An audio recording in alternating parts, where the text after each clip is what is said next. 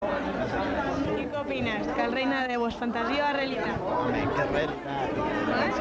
Per què realitat? Perquè hi ha moltes proves que ho demostren, no? Eh, no ho sé, puc dir moltes. O sigui, la feina que fan sigles i dins tots els camps d'acció social, no ho sé. Molt bé, molt bé. Què opines de Zabac? Què te pareix? Mira bé. Jo espero que hi vagi bé, però, vamos, sempre passes un poc de pena, però supos que anirà bé. Supos que sí. Moltes gràcies, eh? Està ben vist que és ben realitat el Reina de Déu, només faltaria. Sí. Jo el que crec és que molta gent no el saben descobrir, no el saben veure realment aquí on és, però el Reina de Déu, si tu saps descobrir on hi ha molt, segurament descobriràs Déu i descobriràs on hi ha el Reina. Això és veritat. Moltes gràcies. Ara... ara... Esperes en el debat per saber-ho? No, no ho sé, però ara no ho vull dir, perquè potser me, me puc menjar el coco i me, diuen, fan dir una altra cosa, no entens, eh? Home, tu què opines? Que de Déu és fantasia o realitat? Hombre, jo tenc que opinar que és realitat, supos, perquè si no opinats que era jo, que és el que podria predicar. Molt bé, moltes gràcies. Ah, sí. Ah, una, només és una pregunta, només una. una. Amen, tu què creus que el Reina de Déu és fantasia o realitat? Jo crec que en realitat, perquè la prova és que som aquí, és qui som, vol dir que és una prova, això també, que el manca mos ho creiem, que és una realitat. Moltes gràcies. Amen, vostè què pensa? Que el Reina de Déu és fantasia o realitat? Jo penso que és realitat. Per què? Eh, no sé, no sé. Jo ara, donar una explicació, no, no estic, no estic, eh, no sé, no me trobo en condicions de, de fer unes, unes contentes, però Esperen el debat per poder-ho explicar. sí, poc més tard, potser estaria... Va, moltes gràcies. Amen, Javi, tu què opines? Que el Reina de Déu és fantasia o realitat? Realitat. Per què? Hombre, perquè és la nostra feina, vull dir, el que feien altres les parròquies. Si no en creïn altres, Moltes gràcies. gràcies. Reina de Déu és fantasia o realitat? En realitat. Alguna cosa que ho pugui demostrar? Ah, no, de moment eh, no li puc dir res. Esperen el debat. Esperem el debat. Molt bé, moltes gràcies. Escolta, tu què opines? Que el Reina de Déu és fantasia o realitat? Jo penso que no, no puc dir ni sí ni no. De moment puc assistir a actes com aquest per informar-me. Va, moltes gràcies. És que el Reina de Déu és fantasia o realitat? Jo sortirà que realitat, realitat. No, que sortirà no, men. Tu què opines? Jo crec que és realitat, el nostre grup ha apostat perquè era realitat. Ha fet l'emoció pensant que sí, que realment... Qualque cosa que ho pugui demostrar? Quan la nostra emoció hem explicat un poc la feina que, que nosaltres fem i que això mos demostra dins un grup que realment és possible. Opines? Que el Reina de Déu és fantasia o realitat? Una realitat. Per qualque cosa que ho pugui demostrar? Uh, no ho sé, que ho pugui mostrar, no ho sé. Això és una cosa que s'experimenta i a la qual els cristians pues, lluitant cada dia per fer-ho més realitat. Molt bé, moltes gràcies. Mira, mira cap a l'entrada i si quedarà més. Realitat. Jo, realitat, Com, qualque cosa que ho pugui demostrar o així?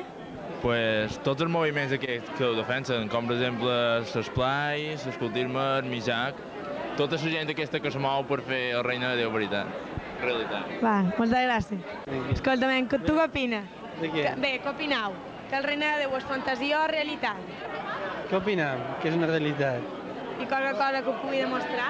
O qualque cosa per mostrar? que tu facis feina o... Bueno, nosaltres fem feina per l'esplai, a les parròquies de Corpus, de Rafal i de, de Sant Vicent Ferrer, i hem presentat una prova i venim a defensar aquesta postura, i si ens diuen que xerrem, doncs xerrarem i ho defensarem. Molt bé, moltes gràcies. Sortim un poc a fora, ja. Què vol dir? I això? Com és que ho... Què opina? Que el Reina de Déu és fantasia o realitat? Jo, realitat. I qualque cosa que ho pugui mostrar? Bueno, en sa fo. Se fa. Vale, moltes gràcies. Cosa que ho demostri? Bé, no ho sé, supos que la quantitat de gent que, aquí, que hi ha aquí avui pot ser una mostra, no? A lo millor, no sé. Vale, gràcies. Mira, jo, a mi me basta eh, es contemplar només la vida mateixa, totes les coses que, que podem veure, el naixement d'un infant, eh, qualsevol cosa. Almenys, al manco jo ho crec. Eh? Molt bé, moltes gràcies. Oh, vinga, què opines? Que el Reina de Déu és fantasia o realitat? Realitat. Qualque cosa que ho pugui mostrar? Sí, la capacitat d'estimar. Molt bé, moltes gràcies. Que el reina de Déu és fantasia o realitat? Jo el visc com una realitat dia a dia i crec que, no solament ho crec, sinó per experiència, és, és una realitat que se va fent realitat aquí me moc. Molt silenciosament, però se va fent realitat. I què pensa que pot ser aquest debat? Aquest debat jo crec que és molt important perquè han sortit de les iglesis per començar a discutir i a parlar d'aquestes coses amb molta de gent, no per fer proselitisme, sinó per, eh, perquè anem aclarint les coses i, qui, i mos animi més a treballar cap a la reina, un reina més efectiu i real. Molt bé, moltes gràcies. Vale. Opines que el reina és una fantasia o és una realitat? Jo crec que el reina se viu, i si se creu en el reina se té que viure.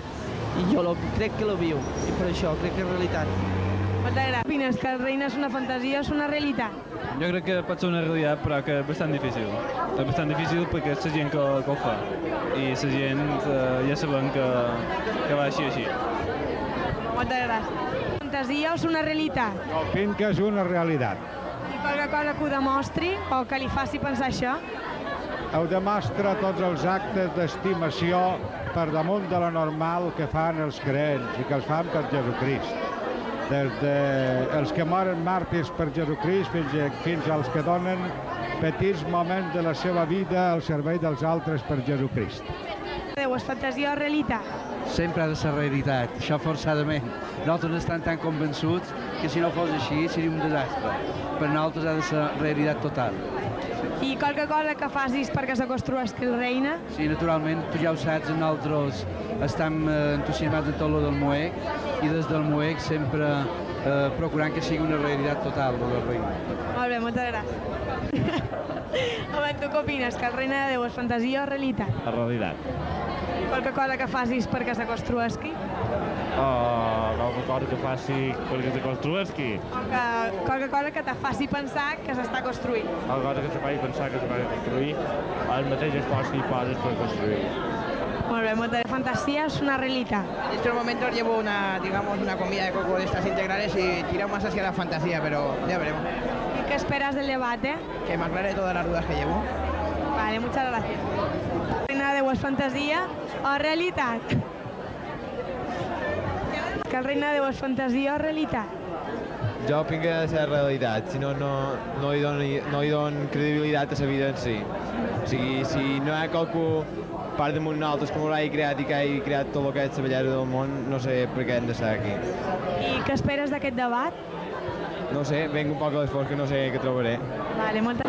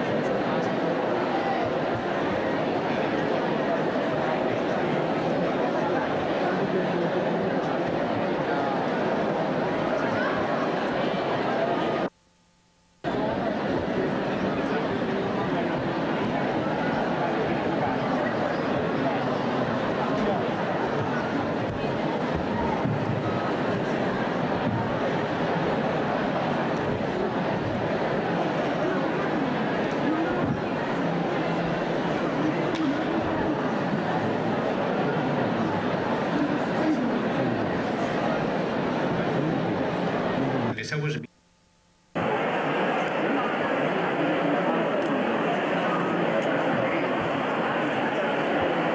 Per tota aquella gent que no tingui encara les paperetes de votació les pot recollir a l'entrada. D'aquí dos o tres minuts començar. Gràcies.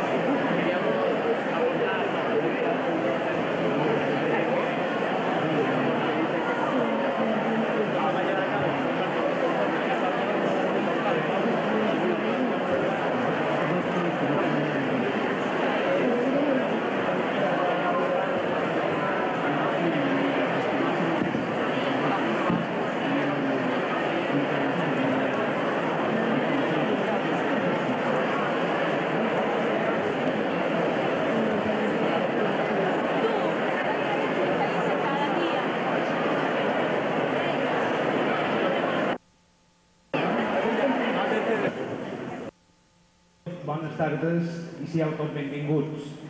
En nom del secretariat, del senyor Bisbe i en definitiva de l'Església de Mallorca. Ha arribat el dia del debat i tot ja està a punt. A punt estan les reflexions dels grups que hi participen. A punt estan els dos defensors. El de fantasia, Antoni Serra, que seu al mig i és escriptor, i és de realitat, Pere Ballester, que també seu al mig i és el director de Càritas. Els dos estan acompanyats per una taula de suport. La de fantasia, presidida per Antoni Serra, de Joana Maria Roque, periodista, Miquel López Crespí, escriptor, Francesc Seguí, periodista, i Toni Tarabini, sociòleg. La taula de realitat està composta Llorenç Tous, llicenciat en Bíblia, Tomeu Català, director del projecte HOMO, Maria Ballester, assistent social de Càritas, i Pep Garau, professor de llengua i literatura.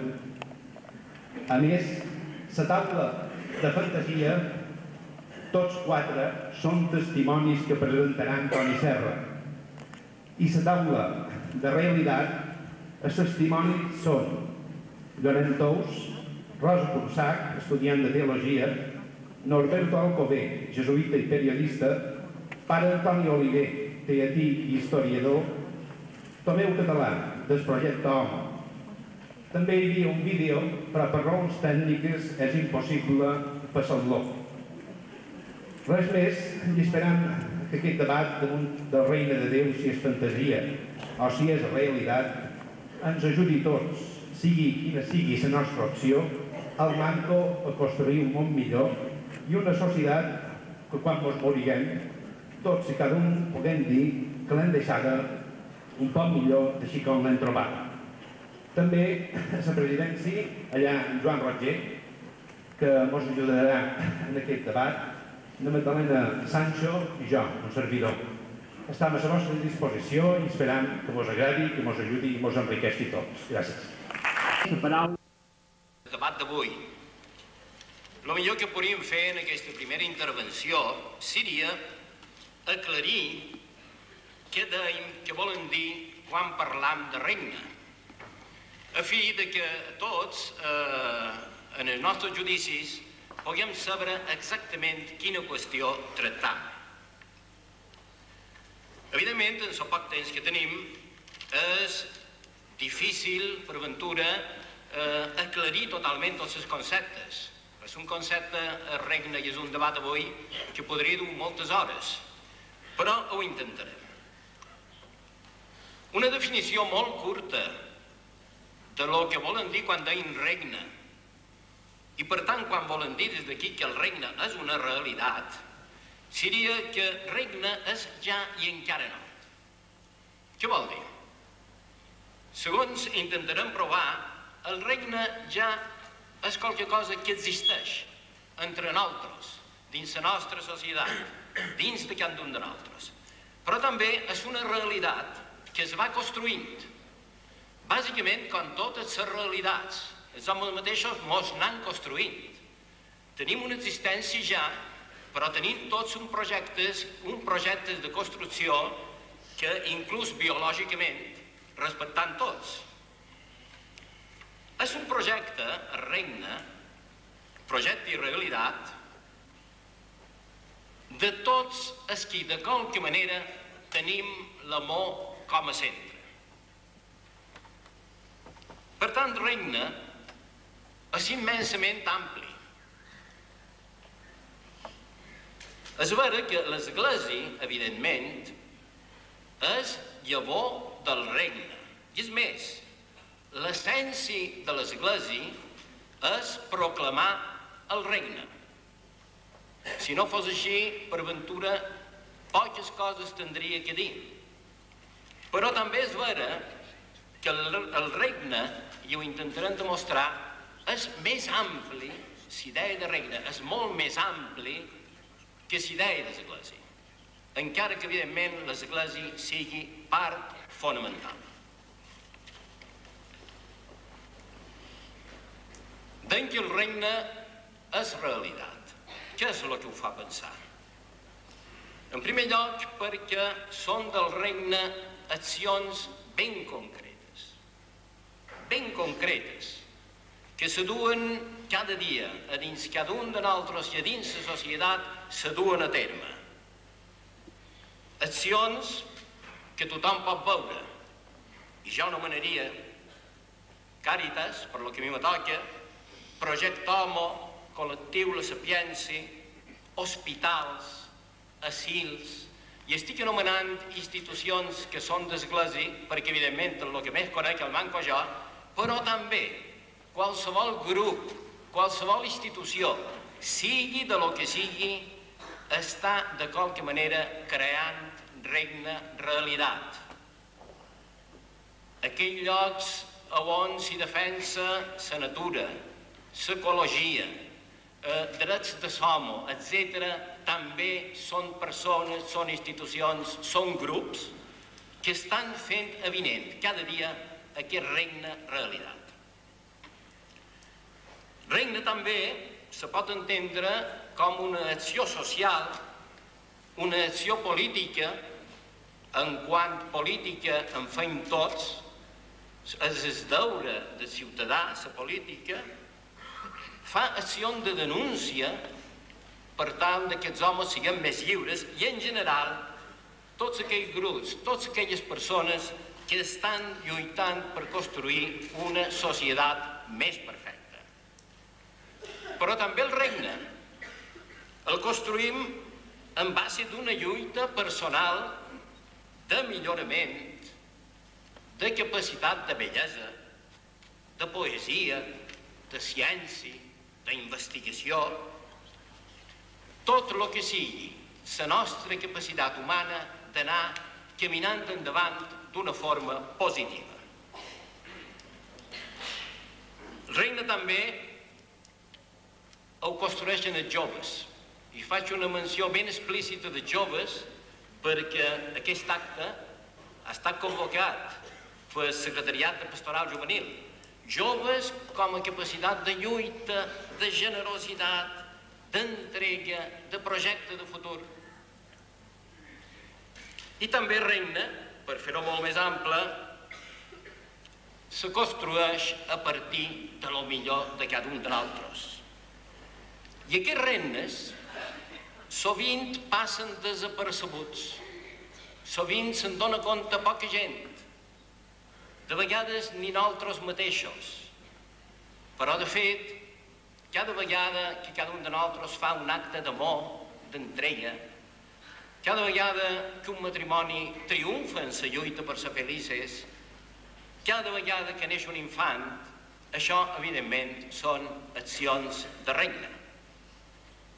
I no voldria que aquesta primera exposició quedés com a, com a una simple pel·lícula de Walt Disney, tot colorins i, i tot bé, el regne també hi ha una capacitat per superar el mal i el dolor. I no negarem que el mal existeix. I no negarem que el mal de vegades destrueix o intenta destruir regne. I no negarem imperfeccions i pecats i coses que no funcionen, però crec que precisament la lluita per construir regne és vàlida perquè també té capacitat d'anar superant aquest mal i aquest dolor. Dit això, per què crec amb el regne? En què basam la nostra fidelitat al regne? Tanta gent. Evidentment, evidentment per nosaltres el regne és la conclusió última del missatge de Jesús de Nazaret. Un missatge que neix de les actituds i accions de Jesús, de la seva experiència de l'amor de Déu. Per tant, l'alternativa de Jesús és aquesta categoria de regne de Déu. A partir de tres punts, i seré molt breu, Déu és el Pare de tot i de tots. És l'apa. El que en bon llenguatge d'avui seria és papa. Jesús descarta el Déu norma.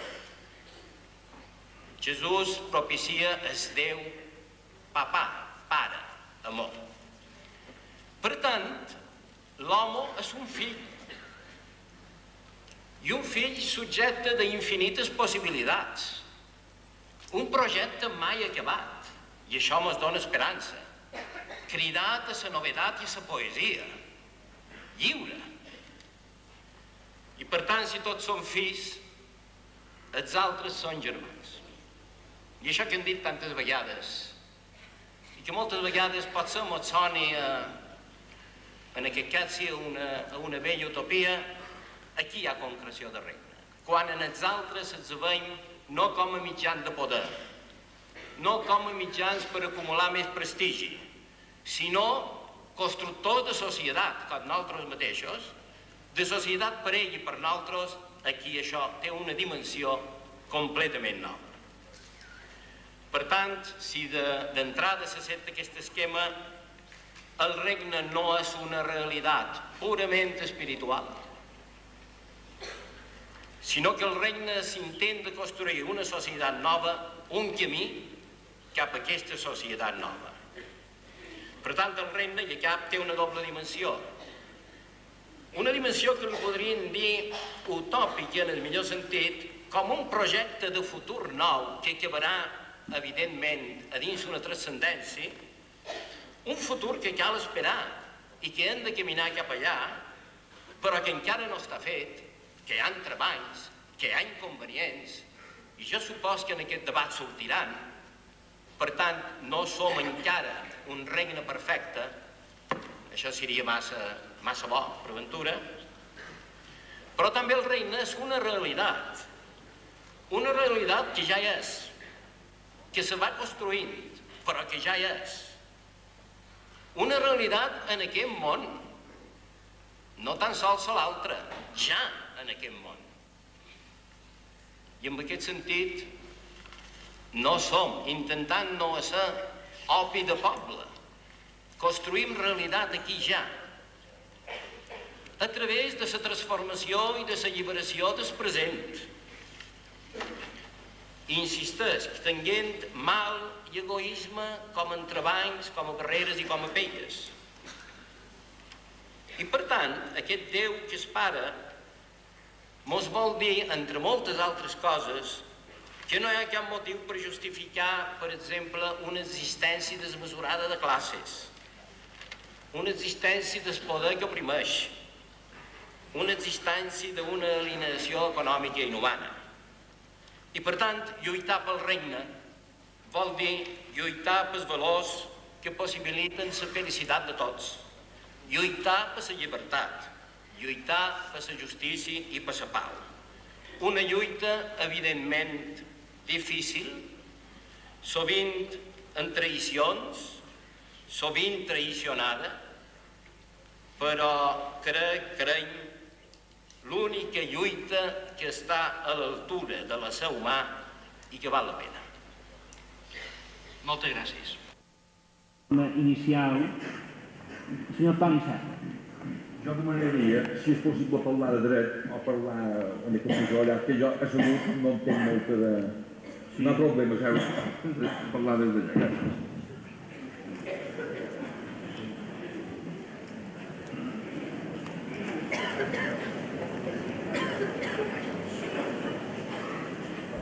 Bones tardes a tots.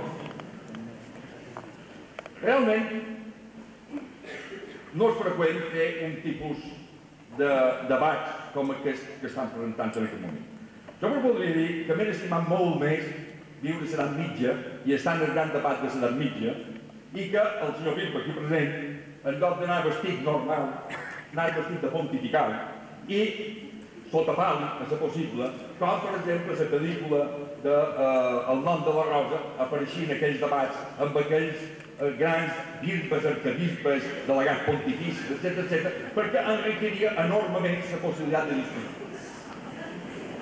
Però és possible dir una època contemporània que és època de s'informar. I està, és època d'informàtica, però ja veig que em estoparem. I això què vol dir? Això vol dir que prèviament voldria dir que la persona no és mai ella mateixa per si sola, sinó que està en funció de la història, i està en funció del present, i està en funció també d'un futur previsible. I, en funció d'això, el debat que tenim avui crec que és no excessivament procedent en quant a les preguntes. Què vol dir això si el regne de Déu és fantasia o realitat? Uep, uep. Senyors meus, fantasia és una realitat.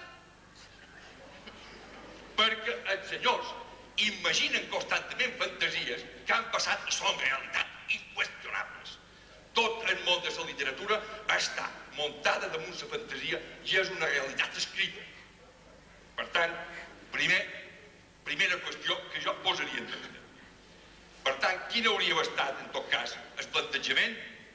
Hauria estat si no el regne de Déu, si el teòric cel d'un temps existia o no existia. Però mos sometrem en els criteris que s'han plantejats. I ho farem des d'un punt de vista històric.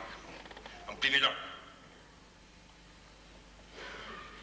l'Església mai ha tingut els mateixos criteris, com a mínim, exposats i especificats a damunt dels teus textos, mai ha tingut els mateixos criteris sobre la Bíblia de Déu. Permeteu-me un parèntesi intencionat. Ara imagineu-vos un republicà que viu a la monarquia borbònica actual que després sigui catòlic i se'n vagi a un regne de Déu. I per què no una república de Déu? Si és republicà. Però, en fi, estiguem amb el regne de Déu. Val, continuarem. L'Església, l'Església ha canviat els criteris de de Déu.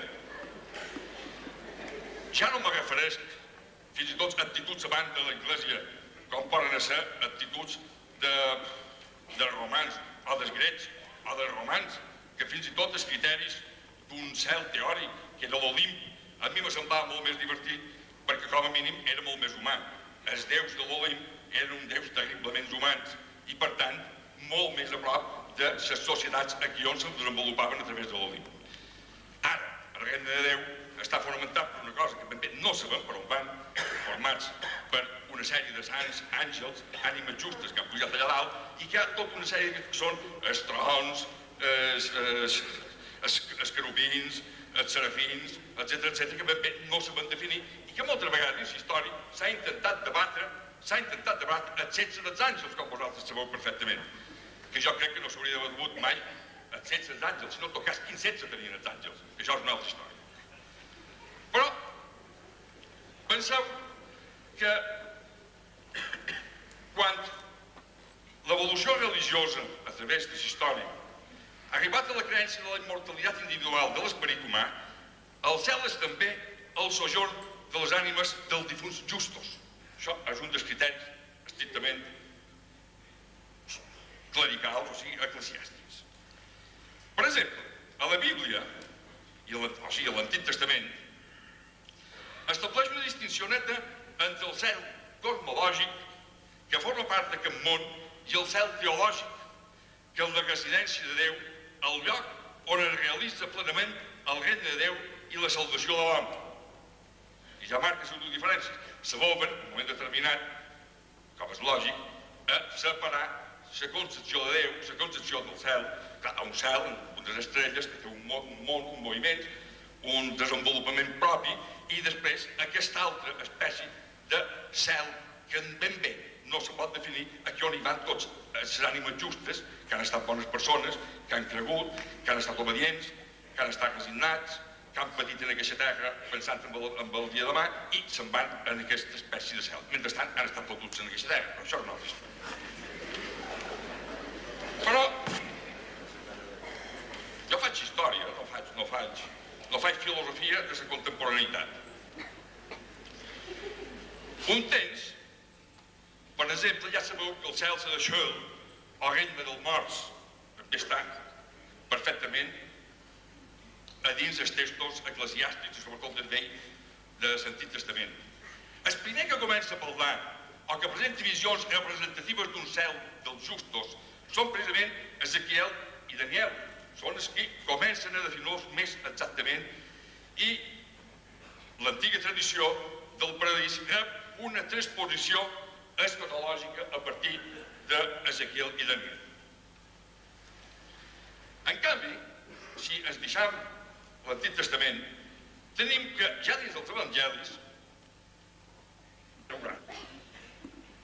precisament les concrecions més, més precises d'un cel no se fan concretament dins l'Església Catòlica ni dins el cristianisme, sinó que se fan a dins altres religions, com poden ser l'islamisme, que fins i tot marca que el cel és una mansió eterna, on l'home gaudeix dels més diversos plaers, tant sensibles com espirituals, i troba la realització de tots els seus desitjos. O sigui que, així tot, aquests conceptes de, de regne de Déu que han anat transformant des d'aquella antiga, des dels antics testament, passant després pels evangelis, fins progressivament a dins diverses èpoques d'aquesta realitat i d'aquest, fins a arribar en aquest segle, ha anat canviant aquest concepte. Ha anat canviant, fins i tot tenim que quan els científics, fins i tot científics catòlics, científics que estaven dins la mateixa Església Catòlica, han posat en qüestió ja no tan sol regne de Déu, sinó en qüestió un cel cosmològic, com per exemple són els casos d'en Copèrnic, o com són precisament els cas d'en Galileu Galilei, en aquest moment l'Església els condemna. L'Església diu que totes les demostracions copernianes i després galinianes posteriors són fantasies i són incertes. Fins i tot, fins i tot, quan Galileu intentava que els seus contradictors mirassin pel seu trompa de mirar lluny, mirassin al cel, Monsenyor Esquivani va dir que no, va dir que no hi volia mirar, perquè el dimoni estava dins d'aquella trompa de mirar lluny, senyoria, perquè dona més prestigi, però evidentíssimament cremat, com els xuetes mallorquins van ser cremats a l'església mateixa. O sigui, exactament igual. Ara bé, en aquests moments hi ha una cosa que és certa, que no me cremen i me deixen parlar. Volen dir, tal vegada, avançat en aquest sentit. De totes maneres, a través, posteriorment, ja demostrarem que tampoc no estan sabents. Però hem avançat perquè així com, per exemple, el mateix Sèneca, el mateix Sèneca, que ja sabeu que va ser els començaments de la nostra creença, no de cel, ni de regne de Déu, sinó la nostra creença. La nostra creença és molt senzilla, és estrictament científica, és la creença essencial i elemental de l'energia. I sobretot la creença de l'energia des de que, sobretot des dels darrers procediments científics a partir del senyor Albert Einstein, de la de la relativitat, o sigui, l'energia que amb una clau a hores d'ara passant molts de segles, així com el concepte de seu de la Iglesia no ha estat immutable, sinó que ha anat mantenint tres formacions periòdiques, n'hi ha un que fins hores d'ara la ciència encara no ha pogut debatre, que és el concepte d'energia. L'energia no es crea ni es destrueix, simplement es transforma. Que vol dir que nosaltres estem convençuts, que nosaltres estem convençuts, que mos importa molt poc morir-nos o no morir-nos, que ara tenim una forma concreta, però després formen part de l'energia. I d'aquí no haurà més importància. I que, per tant, aquesta realitat estricta ens obliga a una cosa certa i positiva. Que la cosa certa i positiva és que mentre tinguem una forma concreta de realitat, aprofitem aquesta forma concreta de realitat intel·lectualment, sensorialment, sexualment, en tots els conceptes, en tota la seva plenitud i en tota la seva magnanimitat i possibilitats presents. Però tots no han estat possibles així. Hi ha hagut persones, hagut en els canvis socials, en els quals l'Església en té una gran responsabilitat, una gran responsabilitat, no ha permès que el cel teòric, el regne de Déu teòric que et prediquen s'hagi trobat a la terra. Perquè normalment, llevat de concrets aspectes que ja en parlarem, però normalment el concepte de cel ha estat un concepte, o la reina de Déu, un concepte repressiu, per mort que els ciutadans d'aquesta terra poguessin esperar un demà i patir en el present. Tot això ja en parlarem amb els testimonis.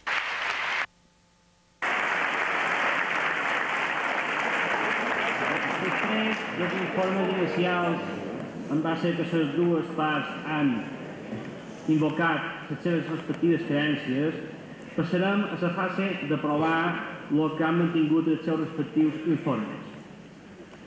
Començarà, en primer lloc, la part de creença de que el reina de Déu és realitat, presentant les propostes i les proves que cregui oportú. I digui a la taula la persona que en aquest moment Jo demano la intervenció de Rosa Cursat. Que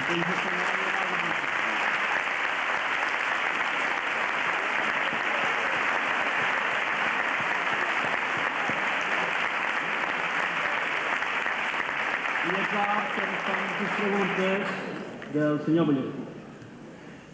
Rosa, eh, sí que m'ha dit abans que, que estava molt nerviosa, no perquè no estàs convençuda del que va defensar, sinó per les 2.000 persones que som aquí, però poder tranquil que nosaltres també estem nerviosos.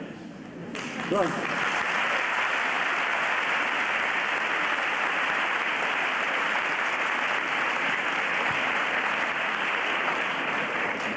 Jo la primera pregunta seria, tu creus realment, com a Rosa, que eh, el regne és realitat?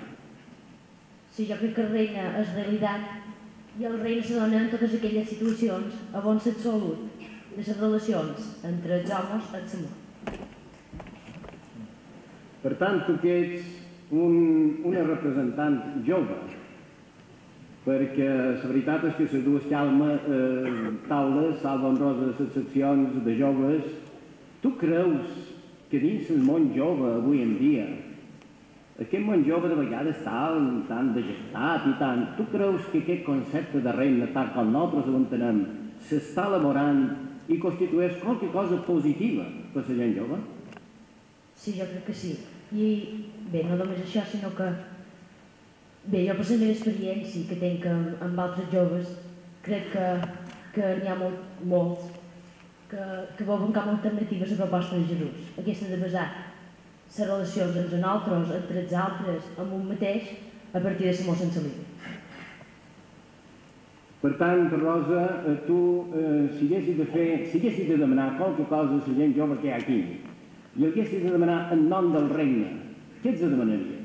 Ai, jo també el que ens demana Déu Nostre Senyor, que és que siguem feliços. D'acord. Senyor moderador, responguis les repreguntes. Sí, m'ha agradat molt aquesta resposta final eh, de que siguem feliços. Jo li demanaria, eh, amb el seu permís, lògicament, li demanaria què passa en totes aquelles persones que l'Església no els ha deixat gaudir de la felicitat.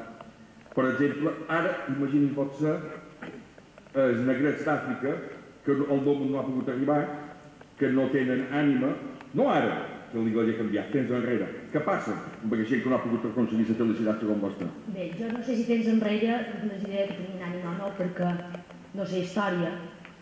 I a més que jo crec que la història el que ens ha de servir és per veure quines patinades van fer llavors i per avui, i per, i per avui no fer-les.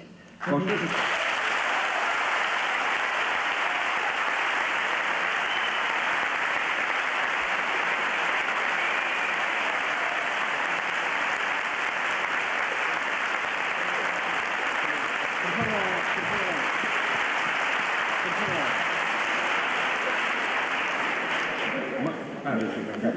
el que deies que d'on no ha pogut arribar, mi personalment em sap molt de greu i que, és que crec que és una cosa que ens hem de demanar tots, els mancos que formem iglesia.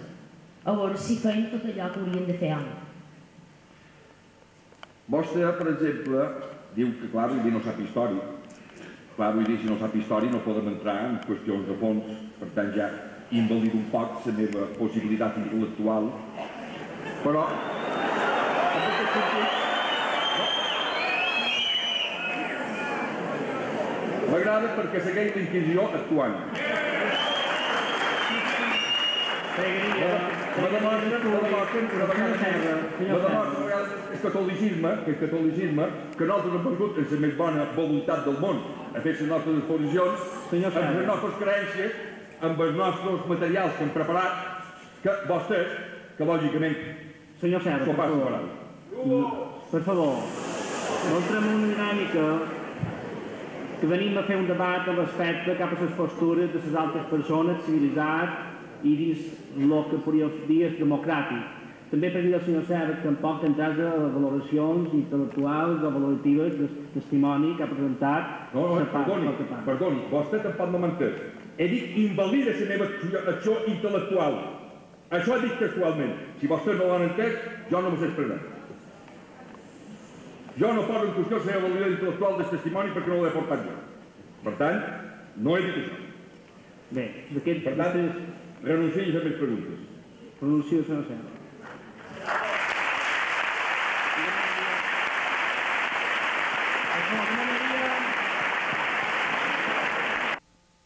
hagués d'interrompir els testimonis i les intervencions de dues parts. Estem a un debat, no estem uh, a un espectacle. Uh, Pregaria del senyor Serra... Sí, demà en la presència, si el distingit públic m'ho permet, la presència del senyor Miquel López Crespí. Senyor Miquel López Crespí, per favor.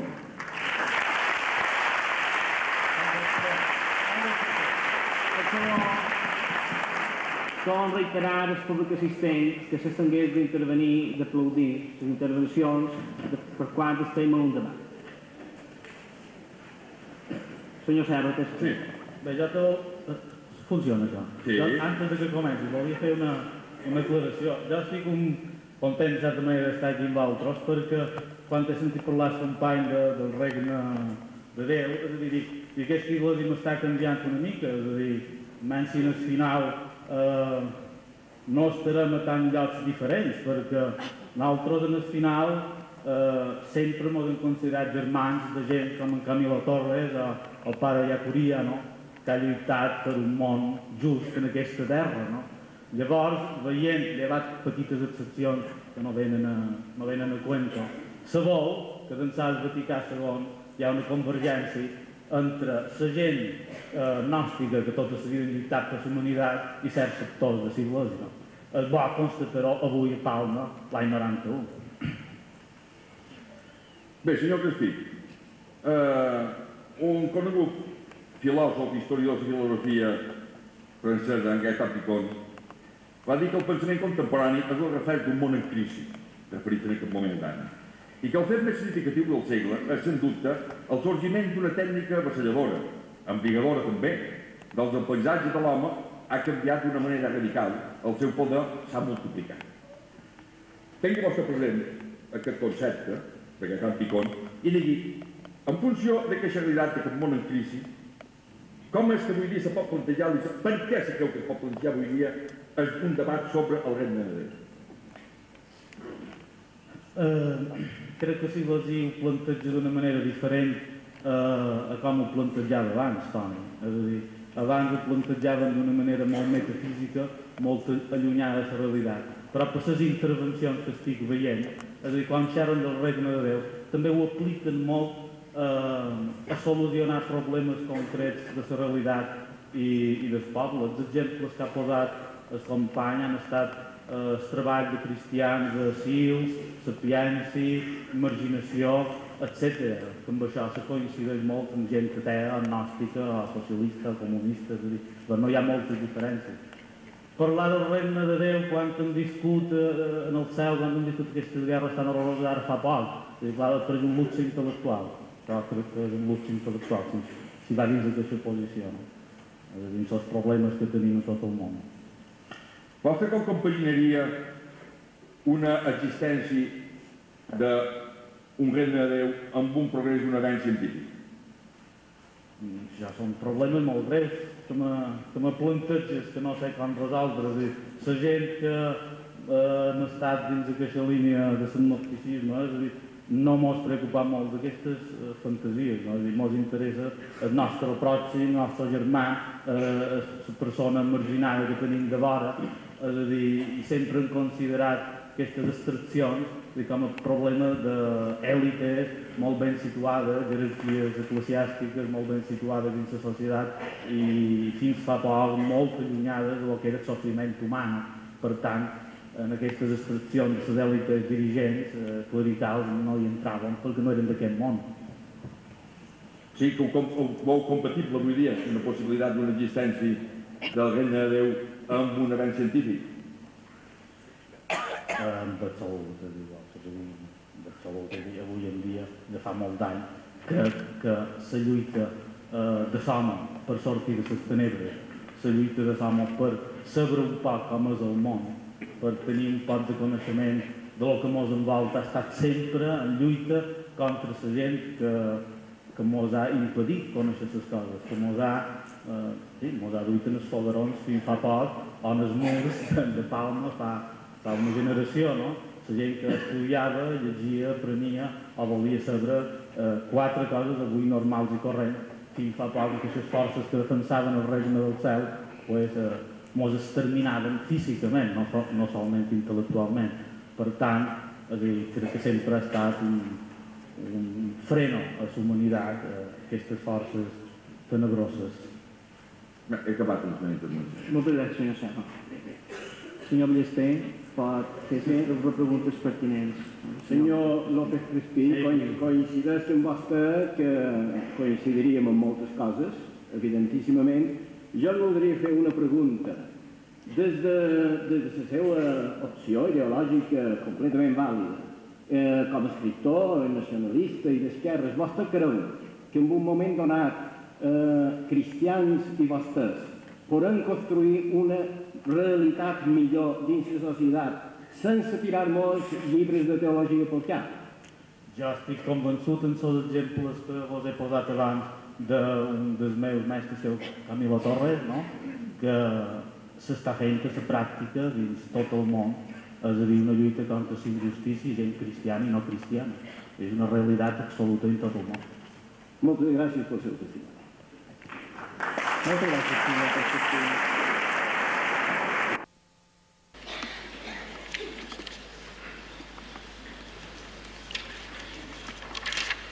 presentant com a testimoni Tomeu Català i preguem que no s'hagi d'aixecar perquè últimament ha tingut molt mala pata i té una cama a l'aire. Què he dispensat, senyor Català? Gràcies. Respongui les preguntes del senyor Ballester, per favor. Vale, gràcies.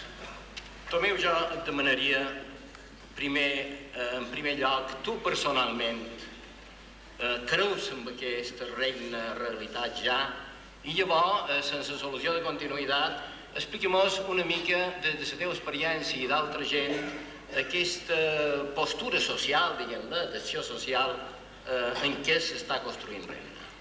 Mira, jo no hi crec, perquè ho veig, el toc. Jo les ueres no crec que són ueres, sé que ho són. I l'experiència de Reina Déu per mi és una experiència diària, quotidiana. És una experiència. Per tant, aquí parlar, no diré el que pens, sinó que sí que vull dir el que visc i en sos que ho visc. I ho visc bàsicament en gent que ha tocat fondo i que ha tocat molt fondo.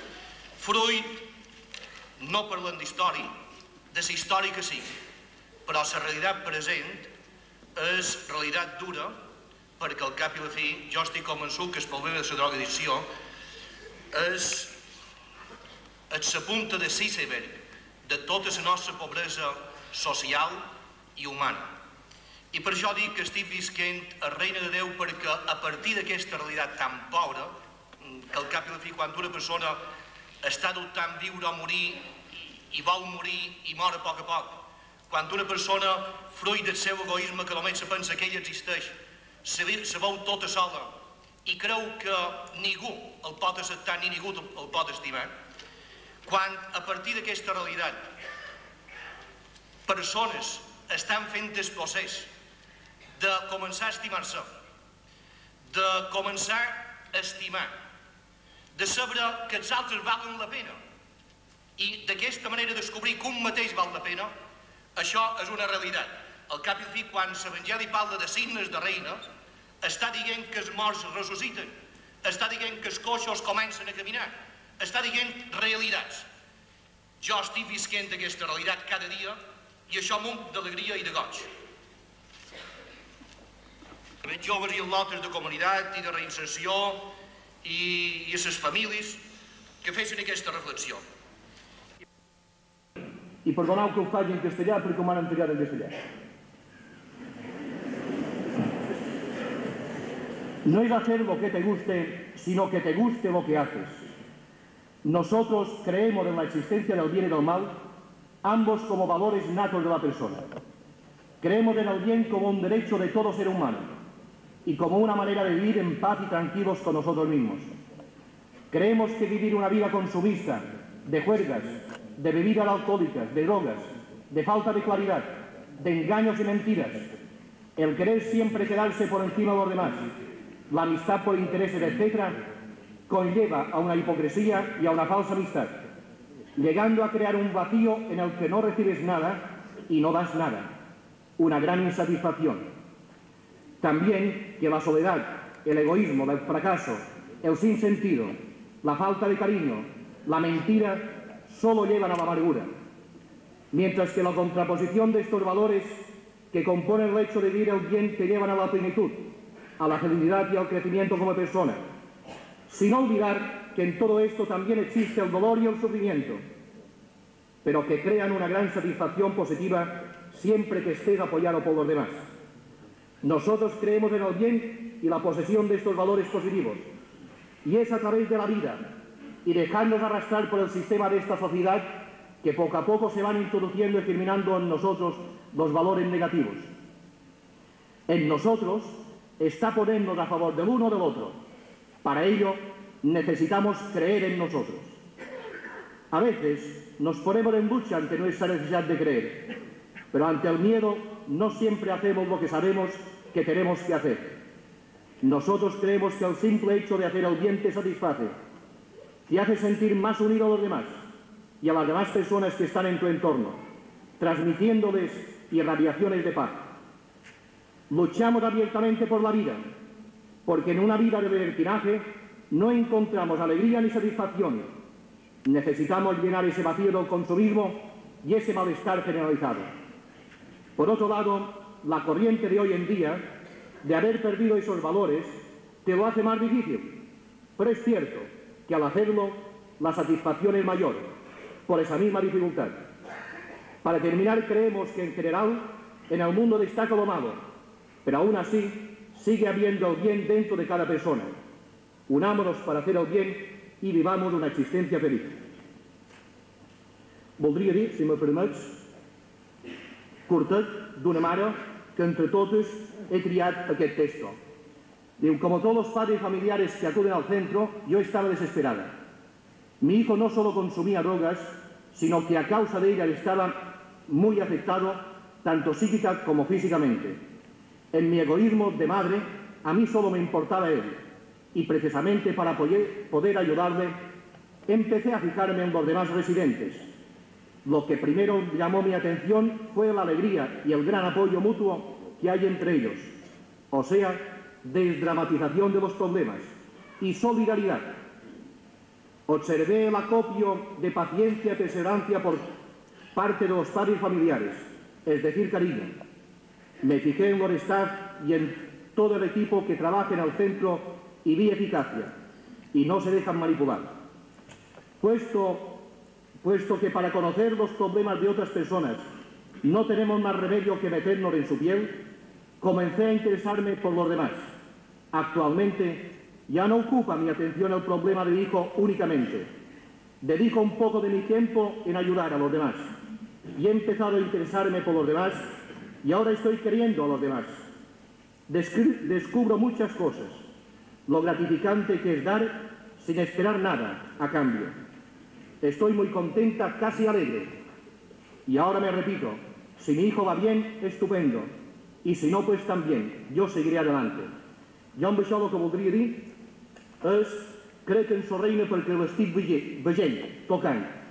I crec que reina val la pena. Val la pena perquè t'omple d'alegria, de goig i de satisfacció. I per això sí que val la pena viure. Moltes gràcies, Tomeu.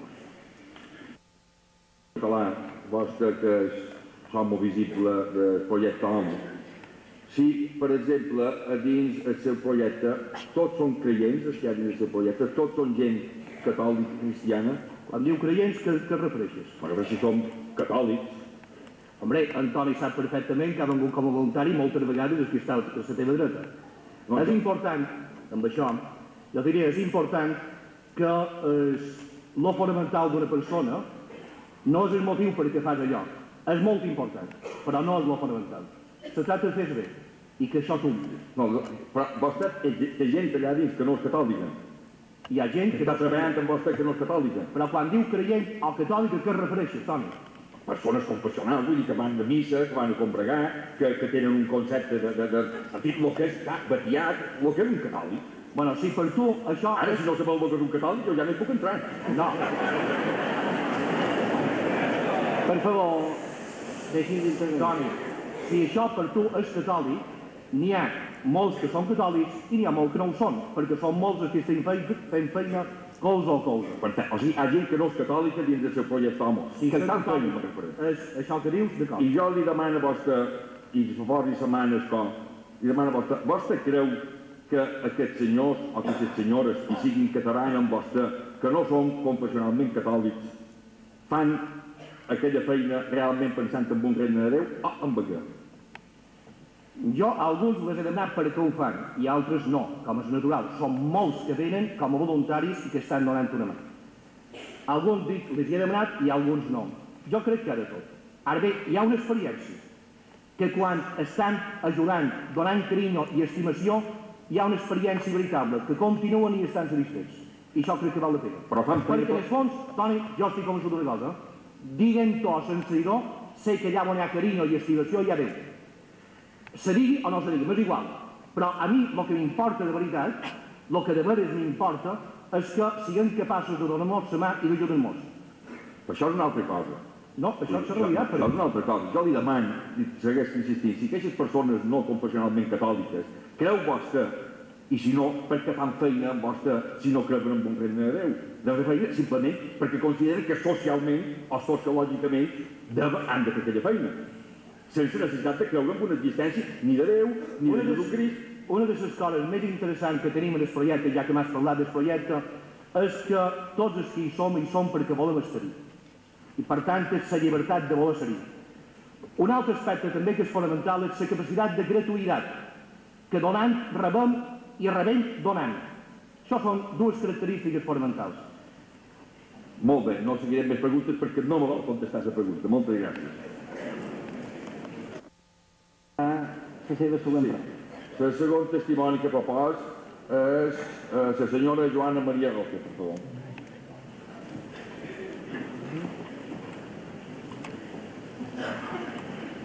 Senyora Roque, respongui les preguntes, per favor, senyor. Eh, Per favor. Senyora Roque, jo li vull recordar només dues cites per entrar en matèria. Dues cites de dos sant pares. Un d'ells és Sant Agustí, que diu textualment La dona és una bèstia que no és ferma ni estable. Sí. Una altra cita és de Sant Joan Crisòstom, que diu Silenci. Entre tots els animals salvatges no se'n troba cap de tan nociu com la dona. Dues cites per entrar en. Silenci. Silenci, per No, favor. no m'ho he inventat jo, lògicament, sinó que això està recollit, està recollit dins de Sant Agustí i de Sant Joan Crisòstom. Sí. I jo, com que som una persona que estic dient i perdona que torna a insistir degut en els, en els rumors de fons de per allà, som una persona que no crec que un individu existeixi per generació espontània, sinó que fruit del seu passat, del seu present i del possible futur, jo me vull fer referències històriques perquè cap de nosaltres, si ens oblidam de les nostres referències històriques, no anirem mai enlloc. Per això són dos testimonis. També li volia recordar, finalment, també li volia recordar, finalment, que ara he perdut paper per aquí, però ja el trobarem. Silenci, per A un favor. des- Seguiria aquesta... a un dels Senyor Serra. concilis, Pregaria, com a- un moment, senyor Serra. Sí. Pregaria al públic, un altre vegada assistent, que s'estengués de fer murmulls, sorolls i renous i deixar d'intervenir el senyor Serra i exposar les seves pertinents eh, pliques i creences respecte a aquest tema. Però que en, el concili d'Efes, crec, si no mal no record, que un dels coses no va ser debatut en profunditat, però un dels aspectes que van sorgir quan se tractava de la eh, virginitat eh, o no virginitat de la Mare de Déu, va ser se, si tenia o no tenia ànima la dona. És un altre aspecte històric sorgit també dins del concili.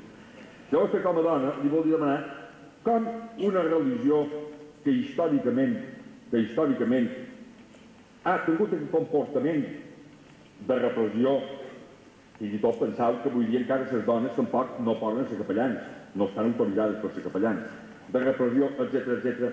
Com una dona, en totes les seves plenes facultats, pot imaginar com pot ser que reina Déu. Vostè com pot imaginar que reina Déu? Jo, reina de Déu, el puc imaginar, com deia aquest senyor de Càritas, perfectament. Així sí. Com no el puc imaginar és com ha estat històricament interpretat per certes tendències de l'Església Catòlica. I el que a mi em sabria greu és que l'Església Catòlica hagués començat fa 40 anys a explicar aquest missatge, perquè fins, fins a, en el segle XIX, fins a 1800 i pico, hi havia una inquisició que cremava gent que és la mateix que Antoni Serra ha explicat. No tan sols Copèrnico Galileo, Giordano Bruno, que era un altre senyor que explicava que hi ha altres mons habitats, també va estar cremat, el senyor Servet i molts altres. Llavors, ja aquesta qüestió de sa dona m'interessa relativament dins una iglesia absolutista a la qual se nega la capacitat de l'home per contestar a les seves pròpies preguntes. No m'interessa aïllant la dona de l'home, no m'interessa com si la dona fos un element que pogués contestar més que l'home en aquestes preguntes. I tampoc m'interessaria en cap moment reivindicar que la dona hagués pogut formar part de la Inquisició. No ho crec. No ho crec. O sigui, el que crec és que si l'Iglesi és com diuen ara, M'apareix fantàstica, beníssim, perfecte, però no ho ha estat. I el que també em pareix molt malament és que tots vostres riguin quan qualcú diu no vull parlar d'història, com si això fos una equivocació seva, no hem de saber d'història, no hem de saber d'història. Què ha passat fins ara? I no se pot donar com a ben fet que no se doni història. Ni se pot donar com a ben fet que un senyor digui pallasso a un debat convocat per la mateixa església i que damunt se l'aplaudesqui. Perquè en aquest moment pareixerà que tornem a la Inquisició. I si l'església vol destruir la Inquisició i el que ella té de dolent, ha de saber respectar els altres, seves creences. I si l'església pot ser no sigui la metge catòlica i pot ser se pugui entendre amb altres esglésies però no se pot entendre mai amb aquests comportaments d'aplaudir la ignorància. Com se pot aplaudir mai la ignorància? Per favor. Per favor, senyor... Senyora Roque, respongui les preguntes del senyor Serra. Sí. No entenc l'oració. Bé, ara jo li volia demanar, senyora Roque, sí. li volia demanar en funció del que vostè i aquesta entesa, amb aquesta possibilitat que puguem creure en un moment determinat amb aquesta nova església que pugui sorgir, sí. si realment vostè està convençuda que, tenint en compte que l'església mm. hi ha un eix fonamental, l'eix fonamental sempre és el papa, és el primarca, sí. i del papa deriven totes les... Vostè creu que la jerarquia, l'alta jerarquia eclesiàstica, tenint en compte tot el que està passant, per exemple, amb els mateixos, eh, la teologia de l'alliberació, etc etc. Vostè creu realment que aquesta església va cap a canvi de camí, o si no ha estat com històricament ha passat, que sempre ha hagut sectors a dins d'aquesta església que han estat contestataris de la mateixa església. Però si sempre no és la mateixa església. Sempre n'hi ha hagut que han estat contestataris i de vegades se'ls ha deixat surar, però gairebé mai. Han surat poquet, poquet. Ara pot ser que comencin a aturar aquests sectors contestataris, pot ser, i n'estaria molt satisfeta si fos així. I si realment el regne de cel fos aquest regne que diuen aquests senyors. que és el regne de la terra. Però, però aquest regne que diuen aquests senyors, l'Església no l'ha defensat molt perquè hi ha hagut guerres religioses, hi ha hagut una inquisició, hi ha hagut la mateixa Església que ha dit no mataràs com eh, un dels seus manaments, ha, ha cremat, ha cremat a les follanyes la gent, o no s'han cremat mai. No ha existit això. Llavors, si aquesta història ha existit, i si és cert que ha existit, ja parlam d'una nova iglesia, d'una altra història, i estic molt contenta de parlar d'una nova iglesia. És que m'agradaria molt que existís, però no poden negar la història. És que no se pot negar perquè ha passat o no ha passat. No ha passat mai. Val, ja no, no, no faig més preguntes. Gràcies, senyor Serra.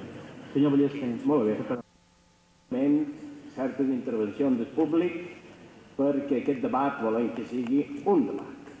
I per tant no hi cap ni s'insult ni inclús eh, pujar massa el veu. Ho volia dir perquè eh, la taula ho creiem així i ho lamentam profundament.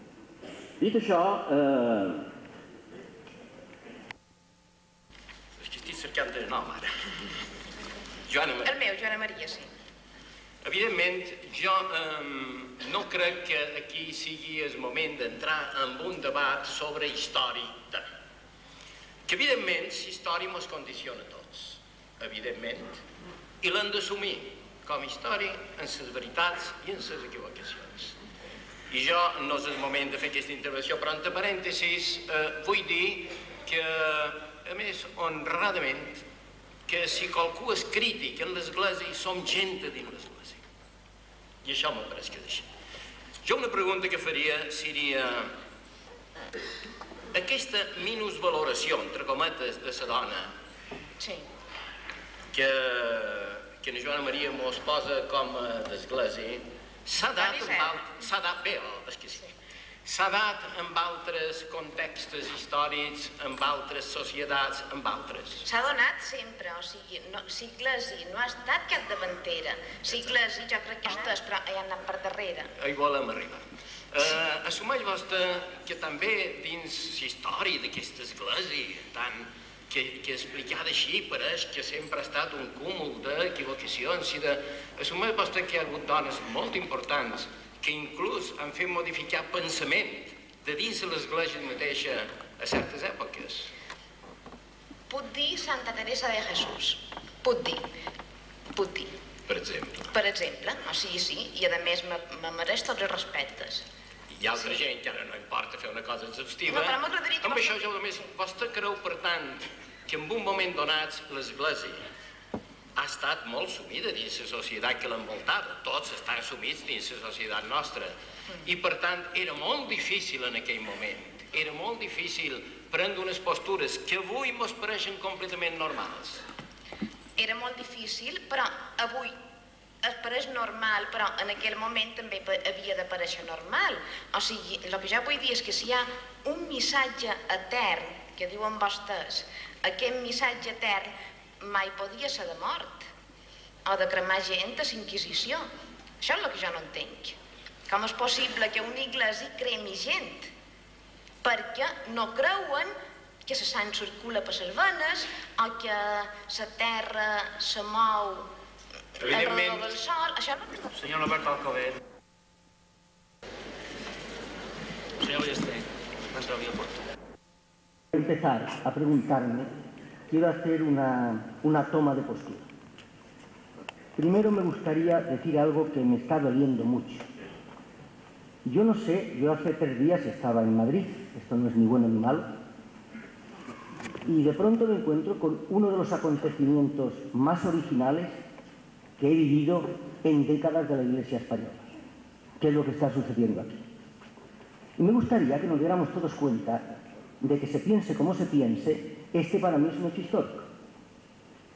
Y que creo que debiéramos dar gracias a Dios, a la vida, a la evolución, a la naturaleza, a quien sea, de que esto se produzca en Palma de Mallorca, donde, a mi modesto entender, tan pocas cosas serias se producen. Segunda toma de postura. Yo quiero decir que asumo de antemano todos los errores de la Iglesia. Pero quiero decir y me considero intelectualmente suficientemente serio para decir que he viajado mucho, que he estudiado mucho y que parte de la mejor historia de la humanidad es historia de la Iglesia. Por lo tanto, asumo el pecado de la Iglesia desde el punto de vista teológico y asumo la gloria de la Iglesia que quiero proclamar esta noche. Y de ahí no me apeo. Ahora pregunte usted. unos documentos de jesuíticos, pero que cito no porque sean jesuíticos, sino porque dicen lo siguiente, pero aplicando al conjunto de nuestro, de nuestro asunto. Dice el ser jesuita hoy, pero ser cristiano hoy, diría yo, ser hombre hoy, me atrevería a decir, cambiando muchas cosas, consiste en luchar por la defensa de la fe, la que sea, y por la promoción de la justicia que emana de esa fe que emana de esa fe. Y añade después, no lucharemos por la promoción de la justicia sin pagar un alto precio. Los hombres tenemos momentos de conversión, caídas del caballo. Yo la tuve en ese momento. Yo ese día opté radicalmente por no callarme ya nada. Y yo ese, ese día me di cuenta, por ejemplo, ya que la ha citado Tony, y se lo agradezco mucho, que la teología de la liberación es la única teología posible porque la teología o libera o no es teología. O Dios libera o Dios no es Dios. O el reino de Dios libera o no hay reino de Dios. Pero claro, después recorrí comunidades salvadoreñas y me di cuenta de que allí, en las viejecitas que te dicen esto, refiriéndose a hechos religiosos, campesinos, comunas, etc., formación sociopolítica, esto me ayuda a sobrevivir. No creo que hablaran del cielo, hablaban a sobrevivir aquí. Pero hablando con mis compañeros de allí me decían, vosotros los europeos estáis teorizando demasiado sobre nosotros. Nosotros aquí estamos aprendiendo a luchar a movernos a trabajar con todos aquellos que de hecho creen en lo mismo que nosotros y que es la causa del hombre. Y cuando yo recuerdo que, y digo el nombre, a Enrique Salazar Simpson, un jesuita que es el que dirige la parte de electrónica, ya que hablábamos de computadoras y todo esto, de la UCA, le pregunté, bueno, pero ese reino del hombre dice, pero Norberto, a estas alturas de tu vida no te has dado cuenta que el reino del hombre es el reino de Dios. Yo en este momento creo que hay reino de Dios porque comienza a haber en muchos lugares del mundo reino del hombre. Y donde no luchamos por el reino del hombre, yo no creo que haya reino de Dios. Pero siempre que hay un reino del hombre, sea ejecutado por creyentes o por no creyentes, misteriosamente se está haciendo el reino de Dios. Comprendo que mis compañeros agnósticos, ateos, no creyentes, no tienen por qué dar el salto a la trascendencia. Pero a mí, os lo digo muy sinceramente, es un tema que no me acaba de preocupar. A mí me interesa que yo sea honesto sabiendo que ese reino de Dios se proyecta más allá de la muerte. Solamente les pediría a ellos que hicieran todo lo posible por respetar y por luchar con nosotros para que el reino de Dios se proyecte más acá de la muerte. Si en esto coincidimos, la Iglesia cambiará, pero también cambiarán los agnósticos. Y yo creo que de este debate no se trata solamente de que nosotros los creyentes nos peguemos golpes de pecho. Si nos hemos pegado golpes de pecho, a pegarnos golpes de pecho todos. Creyentes y no creyentes. Porque todos hemos hecho muchas barbaridades. Y la historia es la historia de todos. Y los cardenales del medioevo fueron amigos de señores que no eran precisamente cardenales, eran civiles. Y si usted quiere, últimamente, cito tres nombres de conocidos intelectuales míos. El padre Taylor de Chardin se pasó 30 años en los desiertos asiáticos porque la Santa Sede pidió a nuestro padre general que no convenía que estuviera en Roma, ¿verdad? Pero el padre Taylor de Chardin creía tanto en el reino que ahí siguió escribiendo el fenómeno humano, la misa sobre el mundo, el himno al universo. Esto es para mí un creyente en el reino de Dios auténtico. El segundo, el padre Henri de Libac, que paradójicamente y desde el punto de vista casi irónicamente es cardenal, ¿eh? aunque no es, no es obispo, perdón, todo, pues eh, después de ser apartado cerca de 20 años de su cátedra, es uno de los grandes consejeros del Vaticano II. Y ese señor en los 20 años de soledad escribe Meditación sobre la Iglesia, que es su gran libro. Y el padre Rammer lo mismo. Yo con esto quiero decir algo muy importante. Ustedes no tienen por qué compartir mi punto de vista, pero comprendan que mi análisis intelectual de la Iglesia introduce un elemento que ustedes, por la razón que tienen, que quieran, no tienen, y es el de la fe, que aquí no ha salido hasta ahora. Yo creo que hay un misterio en la vida, y para mí le llamo fe. El que crea que no hay fe, que la fe es una fantasía, cuidado, no se ha dicho hasta ahora que por fantasía no se entiende utopía, ¿eh? Quiero introducir este fenómeno aquí. Yo soy utópico. Yo creo que el reino de Dios es una utopía, es decir, es una realidad que para mí desde la fe solo se consuma en algo último. Por lo tanto, si no, si no introducimos un elemento dialéctico, que es la fe, evidentemente nuestros puntos de vista tienen que ser discrepantes. Pero a mí esto, lo digo de verdad, me parece secundario. Me parece mucho más importante que aquí se esté dando un debate en el que desde perspectivas distintas coincidamos en que hay que luchar, se crea o no se crea en el reino de Dios, y esto es una opción de todos los señores y señoras que están aquí, se, se luche para que el hombre sea más hombre. Y evidentemente, señor Serra, estoy completamente de acuerdo con usted. A mí me gustaría que sobre todo el hombre, sea creyente, sea no creyente, fuera mucho más feliz y se lo pasara mucho mejor. Lo que pasa, volvamos a nuestra sociedad mallorquina, es que si queremos, a la vez que hablamos del reino de Dios, mantener esta sociedad, dentro de 50 años nuestros sucesores volverán a reunirse y tendrán que decir, no se ha construido el reino de Dios, no es feliz el hombre, porque nosotros nos lo hemos merendado desde la sociedad de consumo. Y esta es una responsabilidad que a mí me gustaría esta noche ponerla muy sobre el tapete porque es muy seria. Quiero acabar, si me permites, con un texto de Ignacio Yacuría. Por lo tanto, me lavo las manos ya y cito a Ignacio. Uh, antes de venir a Europa, dos meses antes de su muerte, mejor dicho, de su asesinato, es un matiz diferente, Ignacio escribió lo siguiente en una revista de la UCA.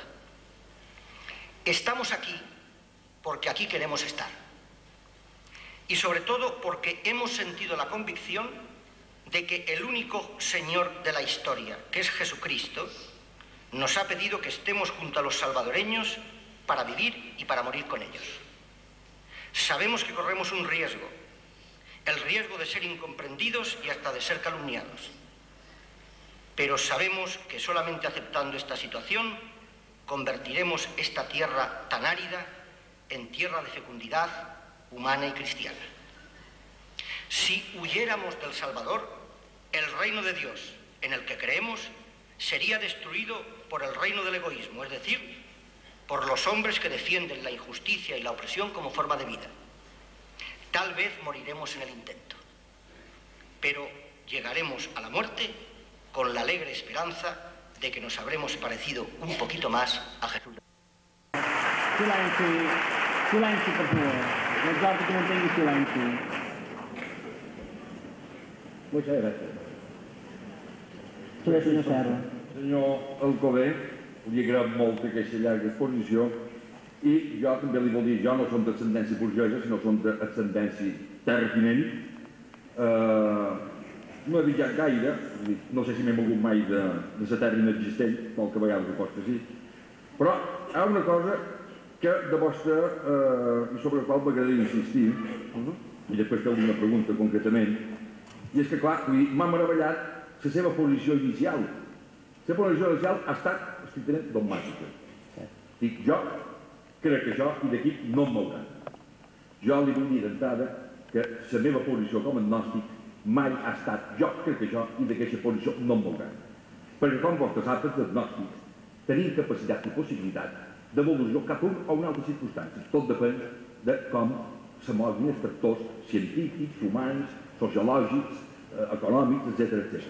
Perquè també recordarà que vostè és un gran coneixedor, un gran coneixedor dels clàssics, Vostè coneixerà, sabrà que el senyor Antístenes d'Atenes, un gran mestre meu, a pedaç jo vaig néixer a l'època d'en Pretoni, això és una altra història, però en Antístenes d'Atenes deia que l'única, l'única veritat certa era la mentida, i l'única mentida real era la veritat. A partir d'aquí, jo, i a pesar que no mouré de posició, perquè ja ho ha dit, sí voldria seguir fent una pregunta històrica i tornar-la cap a, a, la prospecció social actual. Vostè recordarà que un famós dominic nascut a Salta Saxònia, que era Ludwig Bergson, que eh, va ser conegut dins el món del dominic per Fra Servant, i va participar, va participar en el concili de Trento i era, i era un, un protegit, un protegit per el cardenal Simonetta i Morone, i es va relacionar amb el secretari que va escriure un gran, un gran dietari d'aquella època, que era Angelo Massarini, Massarelli, va escriure un llibre que titulava, que se titulava exactament Lava quod et sordidum, o sigui, rentau el que està immund. I un, aquest llibre li va causar precisament la gran tragèdia perquè va ser rebutjat de l'Església, va ser eh, va acabar els seus dies a una petita abadia de l'Alta Saxònia i totes les seves grans relacions van malament. I jo li voldria aquí llegir un fragment i després fer-li la pregunta de que del llibre Lava Quotes Sordidum. Diu, tot és possible i res no és de possible. La felicitat corporal, que alguns autors clàssics en diuen sensual, el llibre escrit en llatí, jo l'he traduït en català, és l'única certa, inqüestionable i tangible. Els qui prometen als homes el regne de Déu, immaterial i incognoscible, els que pretenen per a ells el regne de la terra. El regne de la terra és la realitat tangible, on han estat immersos tots els papes per a treure un fruit personal i no divisible. Evidentment, Fra Servant va ser esclòs, no va, no va sortir de ordres, però varen, el varen, el varen marginar.